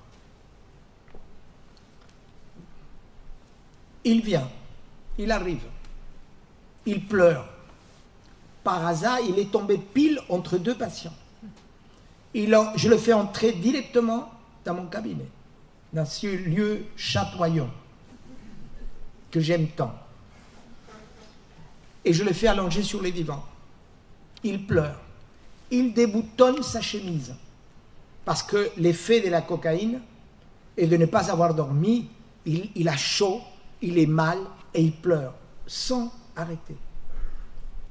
Et je lui dis, attendez, on va appeler votre femme. Non, non, non, non, non. Oui, oui, on va appeler votre femme. Je vais l'appeler. Non, non, non, non. Si, je vais l'appeler. Je prends le téléphone devant lui, je mets le haut-parleur. Voilà un psychanalyste. Vous voulez savoir comment travaille un psychanalyste? Les voilà. Je prends le téléphone, et je dis, allô, madame, je suis ici avec Marc. Ah, bon, elle était mal, elle n'était pas dans le drame absolu. Hein. Comme si elle savait, c'était, elle était fatiguée. Ah, il est avec vous. Oui, il est, il est là, il était allongé là, en train de pleurer. Ah, j'oublie une chose en détail. Mais c'est comme ça. Il faut que vous voyez la photo d'un analyste. j'étais allé à la salle des bains, je mouillais avec de l'eau chaude une serviette, j'ai pu la rendre humide simplement, pas mouillée, et je suis allé le mettre, la serviette, sur la tête. Donc, je reviens à ma conversation avec la femme, je dis, oui, je suis ici avec Marc. Et Marc était allongé avec la serviette sur la tête. Et je lui dis, Madame, euh, je vous propose de vous retrouver, vous et Marc, à 13h. Mais lui dit, bon, d'accord, très bien, je viendrai. Je raccroche et je lui dis à Marc, je dis, bon, vous revenez à 13h. Et il me dit, non, non, non, je ne vais pas partir. Je vais rester. J'ai dit, c'est 10h30 du matin euh, jusqu'à 13h. Euh, qu'est-ce que je fais? Je lui dis, bon, venez. Je l'aide et je sors, je vais passe par devant la salle d'attente. Il y avait un patient déjà là qui voit, me voit moi avec un autre patient un peu déshabillé, bizarre. Je passe et je l'allonge par terre dans la salle d'attente à côté. Je lui dis, il se déshabille sans enlever ses caleçons. Et c'est moi qui tourne sa veste, fait une, je tripote sa veste, je mets le pantalon et la veste à la manière d'un oreiller et je lui dis dormez. J'apporte un tabouret avec un verre, une bouteille d'eau et des Kleenex. Et je lui dis, dormez, je vous réveille quand votre femme va venir. Et je, je pars. Et je rentre et je reprends mes passions. Vous allez rire. Parce que moi, bon, déjà, c'est pas si simple, c'est pas tous les jours qu'il arrive ça. Quand même. Mais ce matin-là, je ne sais pas pourquoi, le patient entre, le deuxième, s'allonge, il dit, docteur Nazio, c'est terrible, je ne peux plus vous payer. je ne peux pas vous payer. Non, le problème, c'est que je ne peux pas même rentrer chez, moi, chez moi où je dois aller à Versailles. Bon, et alors? Mais je ne peux pas rentrer. Je dis, bon, alors je, vais vous, ne préoccupez pas, ne vous inquiétez pas, je vous donne l'argent. Donc, voilà un patient qui ne me payait pas, et en plus, je lui ai donné 30 euros pour qu'il aille reprendre son train pour Versailles. Voilà une photo d'un psychanalyste pur et dur, comme je le suis, entre 10h30 du mardi et 14h, puisque la femme est venue à 13h, on a fait une séance à deux. Je ne sais pas comment vous faire comprendre ça. C'est difficile. Donc, comme on me demande, je sais, avec le titre, comment travaille un psychanalyste, beaucoup de gens disent, ah voilà, je vais entendre, il utilise les vivants, il utilise l'association libre. Bien sûr, je pourrais vous parler de tout ça puisque je l'utilise. Pas l'association libre, mais la règle fondamentale, je le dis. Je fais allonger certains patients, pas d'autres, etc. Mais la vie du psychanalyste, le travail du psychanalyste, la façon de fonctionner du psychanalyste est celle que je viens de vous dire. Ça, c'est la forme. Et après, il y a ce que je dis aujourd'hui qui est l'essentiel. Je sais que je n'ai pas été descriptif, quoique maintenant je le suis grâce à votre intervention.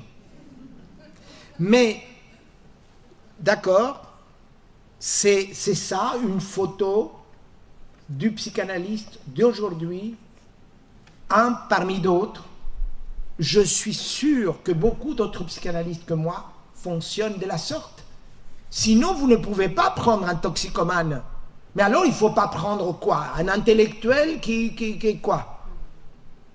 Qui enseigne la philosophie. Il faut que j'accepte de prendre un toxicomane, que je prenne un dépressif, un suicidant, un pédophile. Mais tout, tout vient. Je ne peux pas dire, ah non, ah non, un toxicomane, non. Un dépressif, non. Un suicidant, non. Non, dans la mesure du possible, je prends, j'accepte d'accompagner tout patient qui vient me demander. Et je partage avec lui de la meilleure façon que je peux ce travail vers un changement de sa souffrance. Voilà. Et peut-être s'il y a d'autres questions concernant des détails du cadre de travail, je, le, dirai. Oui.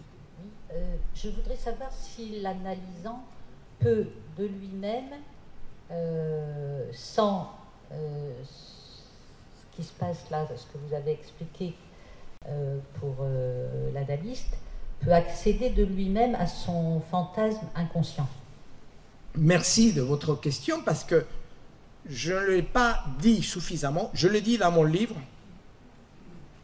En fait, mon idée est la suivante. Je pense que s'il y a cette cette expérience de l'écoute, ça fait que le patient apprend à plonger en lui-même, à cerner l'image de lui-même et à la corriger ensemble. C'est-à-dire que je lui apprends sans vouloir lui apprendre, mais je lui apprends en acte à faire sa plongée endopsychique. C'est pour ça qu'un patient devient plus souple avec l'analyse. Et que c'est un problème dans le couple.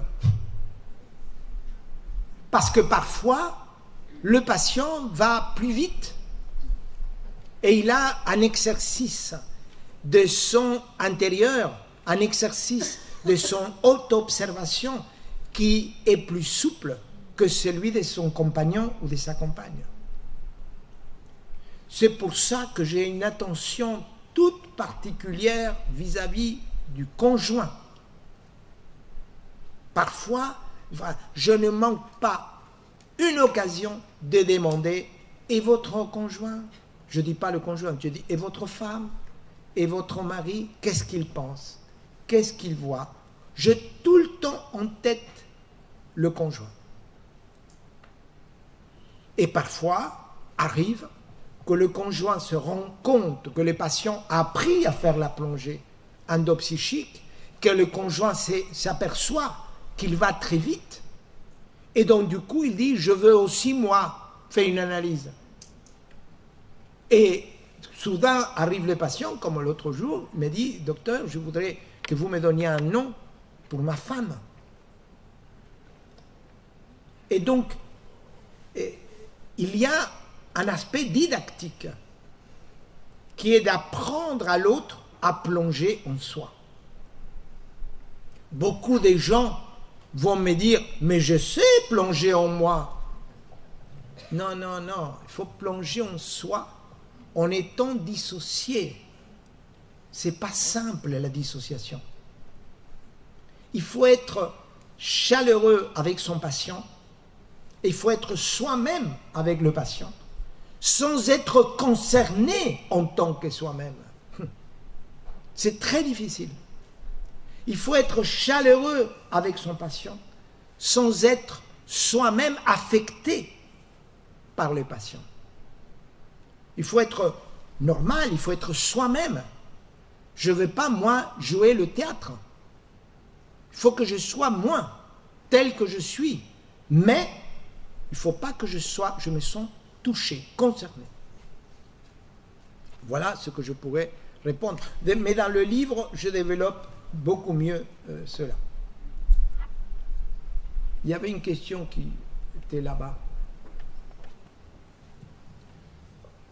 André je suis de la psychanalyse entre autres.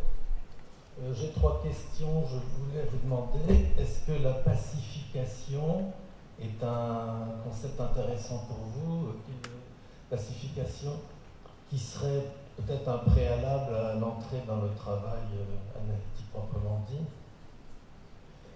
Deuxièmement, vous avez l'air de dire dans votre description euh, du processus d'entrée dans l'analyse que l'interprétation arriverait dès la première séance. Est-ce que ça doit être aussi rapide? Et troisièmement, euh, je l'ai oublié. Ça reviendra, merci. D'accord. Et pacification, c'est un mot permanent en moi. Apaisement, pacification. Je considère que le psychanalyste est un pacificateur. Tout le temps. Tout le temps, partout, tout le temps. Je reçois cette dame, je reçois les toxicomanes, je calme. Je reçois la femme et le toxicomane, je pacifie. Donc, euh, merci de votre mot. Parfait. D'ailleurs, dans mon livre, j'ai mis un chapitre où j'ai mis l'exergue du poème d'un patient qui euh, termine son analyse et qui m'a autorisé, il, a, fait un poème des fins d'analyse et je l'ai mis dans le livre parce qu'il est merveilleux et pas tous les poèmes, c'est trop long, j'ai mis quelques extraits et il a intitulé ça L'apaisement. Et j'ai mis l'apaisement. Donc, pacification, oui, tout le temps pacifié. Vous me demandiez comment travaille un psychanalyste, j'ai oublié, parce que si je dois raconter une journée, c'est impressionnant, c'est merveilleux. Celui qui pratique la psychanalyse a une chance inouïe. Je le dis toujours, excusez-moi pour ceux qui m'ont déjà entendu, mais je ne me fatigue pas de dire que mon métier, c'est le plus beau métier du monde. Un des quatre meilleurs. Alors il y a quelqu'un qui me dit, les autres trois sont quoi? Je, je, ne sais pas quels sont les autres trois. Mais comme il faut rester relativement humble, je dis un des quatre. Mais vraiment, entre nous, pour moi, c'est le plus extraordinaire. Le plus extraordinaire d'aller dans l'autre. Le plus extraordinaire de vivre une expérience avec un rabbin, avec un prêtre, avec un général de la gendarmerie, avec un toxicomane. Dans une, dans une journée, je reçois un rabbin, un prêtre. C'est fou. Hein, quand je m'écoute moi-même, je dis, je devrais l'écrire dans une feuille parce que j'oublie. Le rabbin à 9h du matin, le prêtre à 3h du matin et le général de la gendarmerie à 6h de l'après-midi. C'est extraordinaire. C'est une diversité, c'est une fenêtre dans la vie, à la vie. Donc, l'autre jour, il y a un patient qui, je fais la thérapie familiale. D'ailleurs, c'est comme ça que j'ai commencé ma pratique. Je n'ai pas commencé comme analyste, j'ai commencé comme thérapeute familial. Eh bien, je reçois une famille dont une un des enfants est malade. Et le monsieur, le père, me téléphone, il me dit, écoutez docteur, nous avons un conflit grave avec mon frère sur le problème du partage d'une société avec beaucoup d'argent. Est-ce que vous pouvez nous recevoir tous les deux? On a pensé que c'était mieux que, d'aller voir un avocat, de venir vous voir vous. Moi, ça m'enchante. Je pacifie, monsieur. Je ne sais pas si je, les ai déjà reçus une fois. Bien sûr, je joue là le rôle de médiateur, mais d'un médiateur analyste. Tous les médiateurs n'ont pas l'expérience de l'analyse. Moi, j'ai l'expérience de l'analyse plus le médiateur. Je ne sais pas si je vais réussir. Je les ai donné rendez-vous pour une deuxième fois. Mais c'est un, un déchirement entre tous les deux frères, une lutte, une bagarre pour l'argent et pour la reconnaissance. Voilà, voilà pour la pacification. Deuxième question. Monsieur me dit, et je le comprends, beaucoup de gens le disent, Freud le premier, Freud disait, jamais parler à la fin du premier entretien. Enfin, jamais interpréter à la fin du premier entretien. Freud le disait. Et moi-même, j'étais analysé par un analyste là, eh ben, clénien, clénien. Et mon analyste clénien, qui restait en silence souvent, surtout, surtout lors des premiers entretiens. Je, mon expérience m'a conduit à ne pas faire de la sorte. Je considère que dès la première séance, et là, mon inconscient instrumental est en pleine action, en pleine captation. J'ai un problème. Je dois vous transmettre ça et en même temps, je ne peux pas vous demander à vous de le faire parce que pour le faire, il faut beaucoup de travail, beaucoup d'expérience. Mais il est vrai que m'arrive que lors du premier entretien, déjà avec le patient, j'ai cet inconscient instrumental qui fonctionne. Donc, je conseille ça oui à tous les praticiens, quel que soit le niveau, de clore le premier entretien avec une parole qui soit une parole de conclusion dans laquelle le thérapeute renvoie au patient une parole, je ne dirais pas globalement interprétative, moi c'est interprétatif. Mais globalement, je dirais à tout thérapeute, il faut pour nouer bien le transfert qu'il y ait une parole à la fin de l'entretien. Et au deuxième entretien, lui poser la question, qu'est-ce que vous avez pensé en sortant de la première fois? La plupart des patients sont touchés par ce qu'on a dit. Donc, je sais que Freud et beaucoup des écoles ne souhaitent pas, conseillent de ne pas intervenir ni dans la première, ni dans la deuxième, ni dans la troisième. Parfois, même, à mon avis, c'est exagéré, parfois ils disent même pas poser des questions. Je suis en désaccord avec cette position-là. Je ne dis pas que j'ai la vérité, je dis que ça convient à ma manière de fonctionner et que je propose cette intervention à la fin du premier entretien que j'appelle la rectification subjective. Je considère qu'il y a quatre variantes de l'interprétation. La rectification subjective qui est à la fin du premier entretien, l'interprétation narrative qui est un exemple de l'homme en noir que je vous ai donné, la prosopopée psychanalytique. Et enfin l'interprétation gestuelle.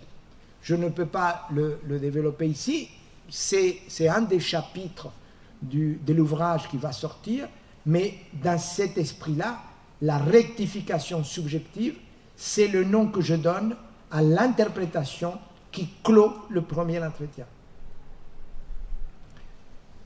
Et si vous vous rappelez de la troisième question, après vous me direz. Ah, vous vous êtes rappelé là? Alors, donnez-lui le, micro. ah.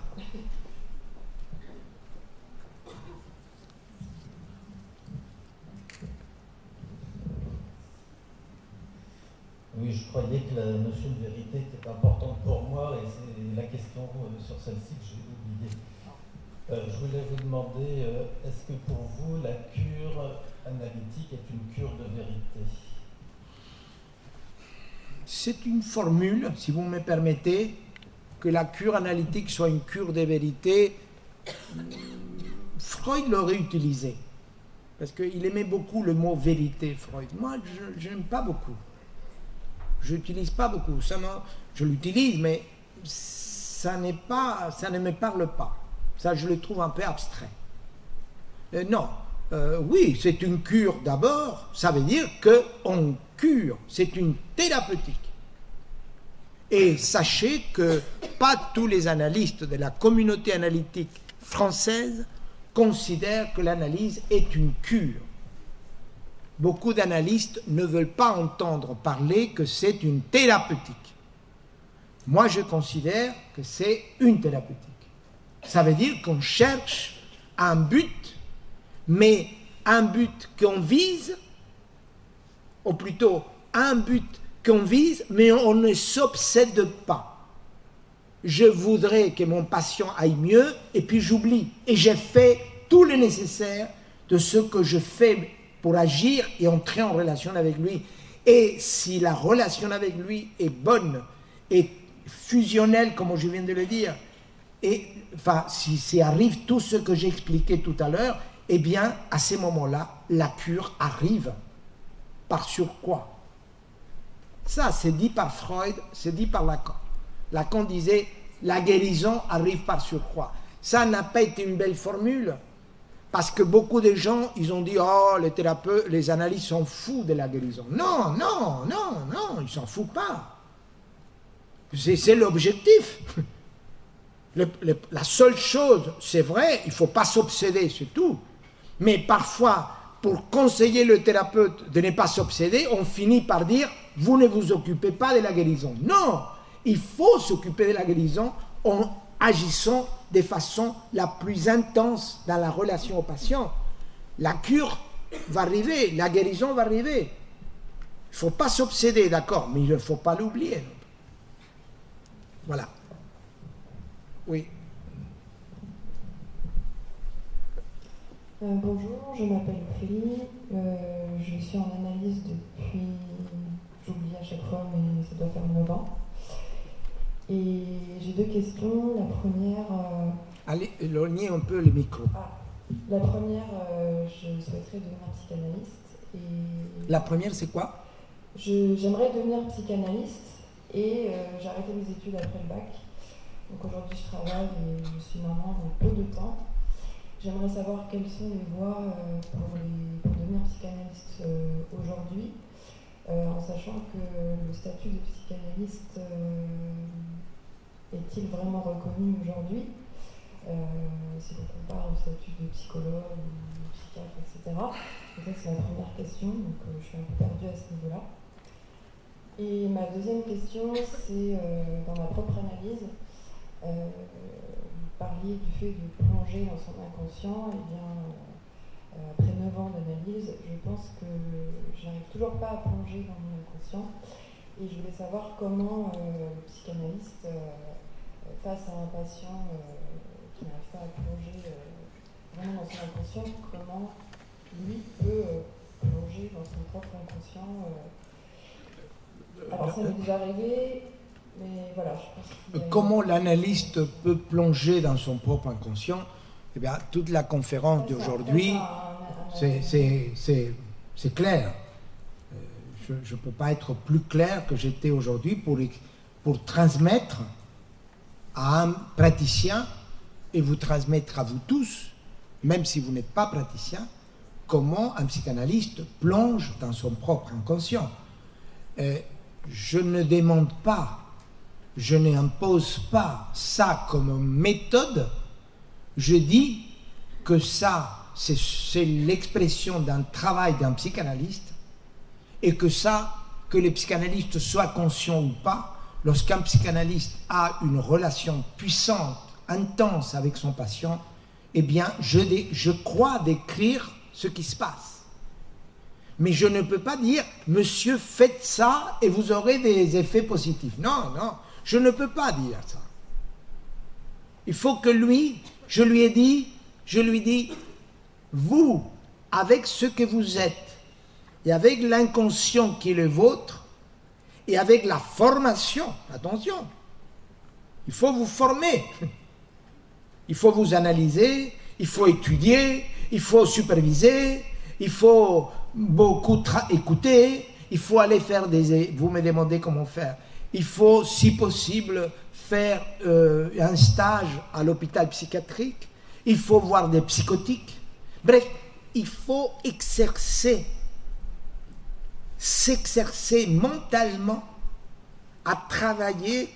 Je vous ai dit tout à l'heure, il faut observer imaginer, n'est-ce pas Dans la première. Là, je dis, il faut apprendre à sentir, à ressentir. Donc c'est un parcours personnel et il y a euh, différentes voies possibles. Comment?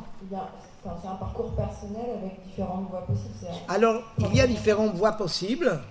Euh, d'abord, vous avez les temps que vous avez fait d'analyse personnelle. Maintenant, si possible, déjà que vous veniez à cette conférence, ça, vous allez, j'espère, partir tout à l'heure et j'espère avoir contribué parce que j'imagine qu'il y a d'autres, avoir contribué à vous faire travailler l'esprit. Déjà, c'est bon. Donc, comment on se forme? Il faut effectivement écouter des conférences, lire des livres, petit à petit faire des groupes de travail, faire des, des participer à la communauté. Parce qu'un analyste est un analyste s'il fait partie d'une communauté d'analystes. Ça, c'est fondamental, l'identité. Je ne peux pas être un analyste isolé. Il faut que j'ai des amis analystes, il faut que je discute avec eux, il faut que je lise, il faut qu'ils me critiquent, il faut qu'ils me valorisent, etc. Donc, si vous me demandez comment faire, je dirais, premièrement, faites des groupes de travail, échangez avec des gens comme vous qui veulent apprendre, lisez, lisez, lisez, lisez, lisez beaucoup, étudiez beaucoup. Ben oui, il faut étudier, on ne peut pas euh, comme ça. Non, c'est un, c'est un office, c'est un métier merveilleux, mais il faut l'acquérir, comme tous les métiers d'ailleurs. Donc, voilà comment, à mon avis, je ne sais pas si je réponds exactement. L'autre chose, c'est essayer de voir si vous pouvez trouver un stage dans un hôpital psychiatrique, dans un service où vous puissiez voir les patients ou tout au moins participer, regarder, observer comment les gens euh, travaillent avec des patients. Ça, c'est important. Euh, je crois qu'à Sainte-Anne, il y a deux ou trois présentations des malades. Ça, c'est très bien aussi. Voilà. Ça, c'est un travail de formation progressive. Oui. Oui. Attendez, je vous donne le micro. Oui. Merci. Est-ce que vous pouvez nous dire quelque chose du, semblant du psychanalyste? C'est-à-dire, comment le psychanalyste, au fond, peut faire semblant, faire le naïf, pour ménager le suspense?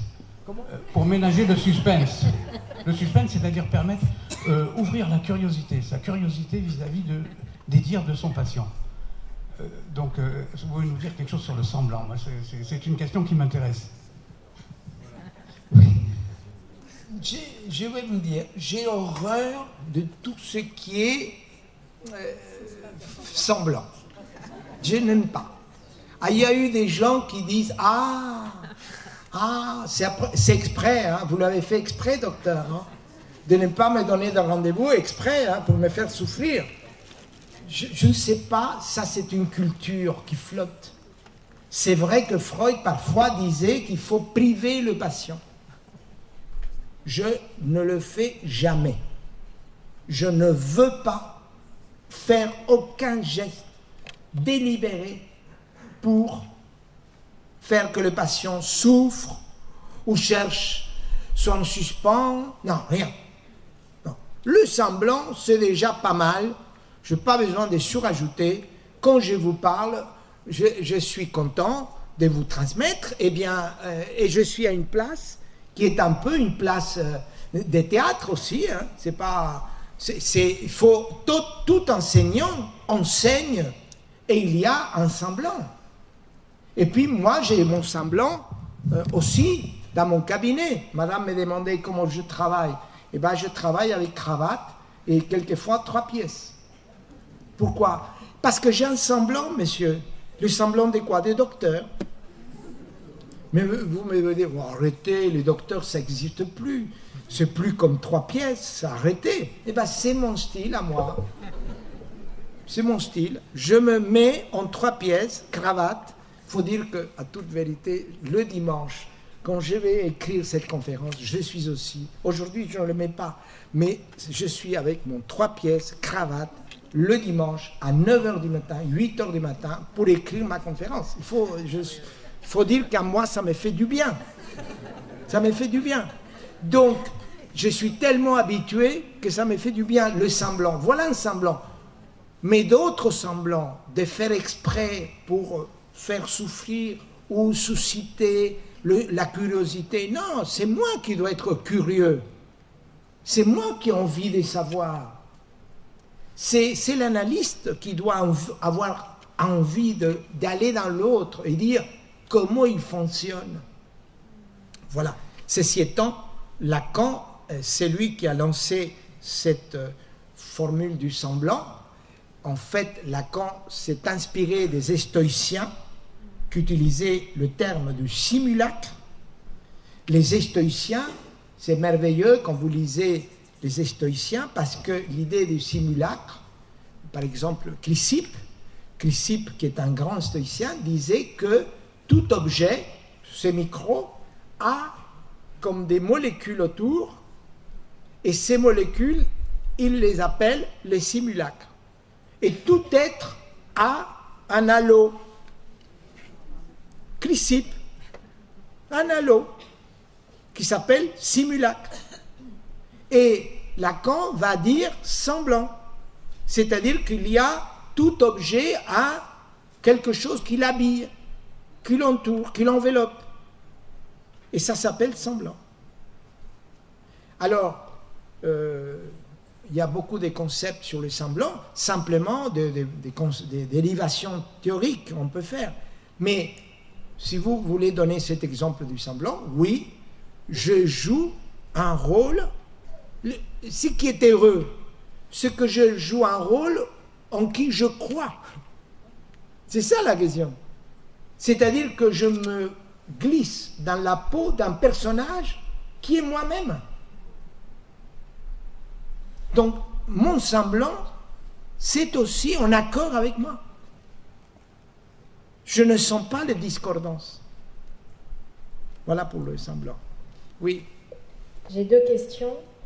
Euh, comment faire avec les enfants par rapport aux obsèques d'un membre de la famille? Quels conseils donner aux patients? Euh, Les enfants doivent-ils assister aux obsèques? Si oui, à partir de quel âge? Etc. Et la deuxième question, c'est comment euh, faire avec les patients qui nous pèsent? Qui quoi? Qui, nous pèsent. Parfois, c'est pas. la chaleur, elle n'est pas toujours au rendez-vous. Parfois, c'est difficile. Merci. Et non, pour les enfants, ce que j'ai appris, c'est que les familles m'ont appris, l'expérience m'a appris, c'est que tous les enfants, même un bébé, doit partager tout ce qui se passe autour de la mort d'un être cher. Tous. Parce que même s'il ne partage pas, l'enfant, le bébé, le ressent. Il ressent sa mère mal. Il ressent une ambiance dans la maison il ressent. Il comprend rien, mais il ressent. Il comprend intuitivement. Il comprend émotionnellement. Donc, oui, l'enfant, je suggère, dans la mesure du possible, de qu'il partage tout le processus de la mort d'un être cher et, bien sûr, des paroles, des explications. Il y a des parents qui peuvent dire, qui sont laïcs, qui disent euh, il est enterré dans la terre, d'autres qui peuvent dire il est enterré ou il est incinéré, même s'il ne comprend pas, son corps va à disparaître, mais son âme monte au ciel, qui est une manière de dire l'âme reste en nous, parce que monter au ciel, c'est qu'il reste en nous. Enfin, il y a toutes les formules classiques et que je suis d'accord pour dire à l'enfant, lui expliquer. Mais votre question me rappelle une autre question très difficile que beaucoup de patients me posent. Ce sont les couples qui se séparent. Parfois, ils déchirés. Et les enfants sont les témoins de cette déchirure, et parfois violente. Et ils me demandent comment parler aux enfants. Et là, j'ai un protocole que je propose aux parents, si je le reçois en couple, qui viennent en état de crise et je propose un protocole. je ne vais pas faire cet après-midi le protocole, ça sera pour un autre séminaire, mais je propose un protocole. Concernant la deuxième question sur les patients qui nous pèsent, il y en a, mais moi, je ne sais pas comment le dire, parce que c'est comme si c'était pas vrai, mais c'est vrai. Je, ça ne pèse aucun. Ça ne pèse pas. Même s'il répète, il répète, il répète, il, me dit, mais vous êtes fatigué, docteur, je vous répète toujours la même chose. Je ne suis pas fatigué, moi. Non, je, suis content. je, me bats. Je me bats avec vous. Alors, euh, ça ne me pèse pas. Il peut y avoir tel ou tel patient, mais bon, ça existe bien sûr, sinon ça semblerait que c'est faux ce que je dis. Mais globalement parlant, je ne me sens pas euh, portant un poids avec tel ou tel patient. Non. Quelles recommandations donner aux praticiens qui... Je pense par exemple à un patient que je suis en CMP, qui est... D'être curieux, de vouloir savoir, de vouloir comprendre, d'avoir la soif de, de que l'autre vous intéresse, que l'autre vous intéresse. Il faut qu'il vous intéresse. Il a quelque chose qui vous intéresse. Même un, délinquant, un criminel, un voleur, un pédophile, il y a quelque chose qui vous intéresse, qui vous avez envie d'entrer. Vous me demandez, madame, comment travaille un psychanalyste Voilà, ça. Envie d'entrer dans le pédophile. Ah oui, oui, oui, oui, oui. Non, mais c'est passionnant. C'est l'envie de savoir ce qu'il ressent. De, vivre la pulsion qui monte. Et qu'il est bête. Qu'il est con. Comment, docteur Nazio? Quoi? Qu'est-ce que vous dites? Que le pédophile est bête? Oui il est complètement pris par sa pulsion. Et c'est une pulsion bête, c'est une, barbarie, c'est quelque chose de sauvage, d'animal, et il devient bête. Comment Un zombie. Comme un zombie dans sa pulsion. Eh bien, il faut sentir ça. Il faut sentir ça la pulsion qui me pousse à être comme un zombie. Et d'où ça vient? Pourquoi il est là? Qu'est-ce qui s'est passé? Pourquoi est-il là Un homme, de, comme j'ai reçu, de 60 ans, que c'est ses filles qui lui ont dit, si tu ne vas pas te traiter, nous te dénonçons. Les filles, nous te dénonçons. J'étais très embêté, moi, pour le problème du signalement. Ah ouais, c'était très embêté. Bref, voilà. Est-ce qu'un patient me pèse Voilà, comme je vous dis, tout être humain a quelque chose qui nous intéresse. Oui, mademoiselle. Ah, madame. Excusez-moi, Bon, merci beaucoup, M. Nazo. J'ai toujours beaucoup de plaisir à vous écouter. En plus, vous me faites rire et vous me faites beaucoup réfléchir. Ça va bien ensemble. Et euh, pacifier la pratique. C'est un mot qui a été utilisé, je trouve intéressant. Je suis pédopsychiatre. Je travaille Éloignez un peu le micro, voilà, voilà c'est ça. Je, voilà. je suis pédopsychiatre et je travaille en CNPP. Je partage tout à fait cette, euh, cette force que vous avez décrit dans certaines thérapies où on se retrouve dans un état second, second point, je peux dire ça comme ça. Et les thèmes qui me viennent parfois dans ces états-là, c'est presque un état hallucinatoire, à un moment donné, avec des moments où on, on prononce des mots et on a la sensation que ces mots ne nous appartiennent pas. C'est-à-dire que ce ne sont pas des termes de vocabulaire qui, sont dans son, qui, est dans son propre vocabulaire habituel. Et on se retrouve avec euh, voilà, cette force, hein, cette, euh, je crois qu'une force, euh, c'est très très. vraiment là, quoi. Et voilà, c'est ce que je mais oui. c'est vrai qu'on les trouve, on moi je les trouve hein, dans mon travail oui. Oui. C'est pour ça que euh, c'est mon problème en parlant comme j'ai parlé cet après-midi. C'est comment vous faire comprendre que je ne suis pas dans un état second où la parole me dépasse. Certes, elle me dépasse, mais je la contrôle.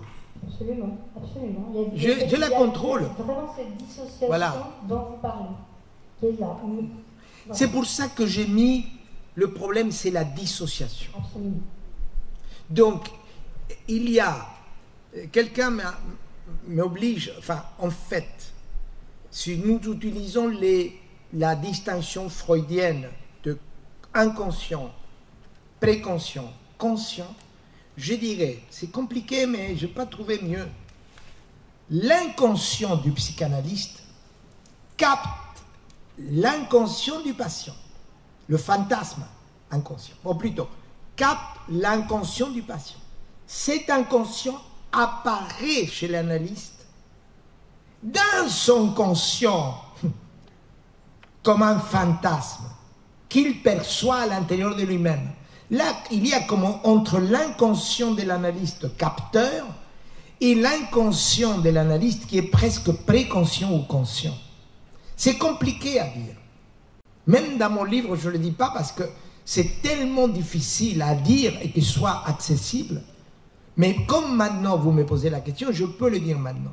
L'inconscient est capteur, mais la perception de l'analyste, il le perçoit dans son conscient. C'est pour ça qu'il est conscient du fantasme que son inconscient a perçu et qu'il peut parler à son patient, non pas en lui disant tel quel le fantasme, mais en le traduisant, en le remodelant, en le disant avec tact à son patient. Mais à aucun moment, il y a, il y a j'appelais ça pour le moment hallucination. Il y a des peintres qui travaillent, qui peignent en étant hallucinés. Moi, je crois, c'est pas l'hallucination délirante, c'est pas l'hallucination des psychotiques, mais c'est vrai que c'est un état d'hallucinose, on peut dire. Oui, voilà, Voilà. précis, effectivement. Il y avait deux autres termes qui me venaient en vous écoutant, c'est le terme empathie, et je ne sais pas quel, si on peut encore l'utiliser dans une position de, psychothérapeute, parce que c'est un terme qui a été beaucoup utilisé. Le thérapeute, le psychanalyste doit être empathique. Vous voyez, alors empathie, voilà, quelle, définition, quelle limite. Et l'autre terme, c'est la méditation. C'est-à-dire, Est-ce que vous avez, est-ce qu'on peut y penser aussi à ça, c'est-à-dire être dans un état particulier quand on est analyste et qu'on arrive à, c'est comme voilà une méditation ou un état de méditation. C'est bien sûr que, bon, pour l'empathie, j'appelais clairement double empathie. Bon, c'est clair que c'est pas l'empathie, l'empathie nous l'avons tous. La double empathie, c'est pas tous, c'est l'analyste qui. Et je dirais même, et dans mon livre, vous verrez, il y a une triple empathie. C'est comme ça.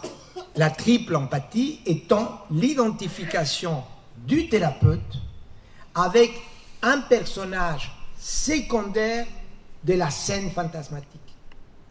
Il y a un, je m'identifie avec l'émotion consciente du patient.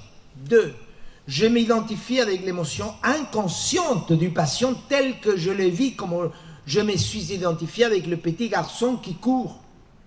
Trois, il y a une identification possible, pas toujours, avec le personnage. Dans ce cas-là, ça serait la mère, par exemple. C'est un autre, une autre identification. Et ça, j'ai dû l'appeler trois et triple empathie. Oui, je l'ai vécu euh, la semaine dernière avec euh, un de mes, une de mes patientes, et Voilà. une maman de son enfant, c'était absolument évident. Voilà, Hein, voilà. Tout ça, c'est une formalisation d'une expérience, d'un travail. Vous n'imaginez pas la difficulté qui est de mettre en mots clairement, théoriquement, conceptuellement, pour que ce soit transmissible. Voilà, ça c'est le résultat de cet après-midi. C'est 6 heures moins quart. Une question encore et après on arrête. Oui Oui. Ah, vous avez le micro, allez-y monsieur. Bonsoir, merci. En fait, j'avais trois petites questions, peut-être un peu techniques. Par exemple, pour la, la communication des inconscients. Je trouve ça un peu euh, mystique, télépathique, en fait, un peu ésotérique. Alors, Je ne comprends pas quel est le fondement scientifique, presque matérialiste, si vous voulez, de, cette communication. Et deuxième question, c'était sur la, la forclusion volontaire. Quel est son lien Est-ce qu'il y a un lien avec le transfert et le contre-transfert? Et l'autre question, mais celle-là je vais la laisser parce que j'ai besoin de l'expliciter encore plus, et je pense qu'on n'aura pas le temps ici. De quoi? La troisième? La troisième question, je ne la poserai pas en fait. Ah Déjà avec les deux que vous me posez. La première, c'est qu'effectivement, mon exposé de ce soir, de cet après-midi, c'est la communication d'inconscient avec inconscient. Sauf que cette formule est tellement galvaudée, ça a été utilisé par certains analystes euh, comme les, les, Anglais, les Kleiniens, Paula Heyman, qui l'a utilisé, ou parfois Ferenczi, communication d'inconscient. Mais on dit communication d'inconscient avec conscient et euh, on n'explique pas en quoi il consiste. Cet après-midi, je me suis consacré à tirer chaque fil de cet échange entre deux inconscients. Je ne, je ne me suis pas, j'aurais pu dire, bah voilà, euh, comme on travaille en analyse, c'est travailler avec son inconscient. Son inconscient en communication avec l'inconscient du patient. Et là, on arrête. Non, j'ai voulu vraiment travailler en profondeur, en détail, comment ça se passe.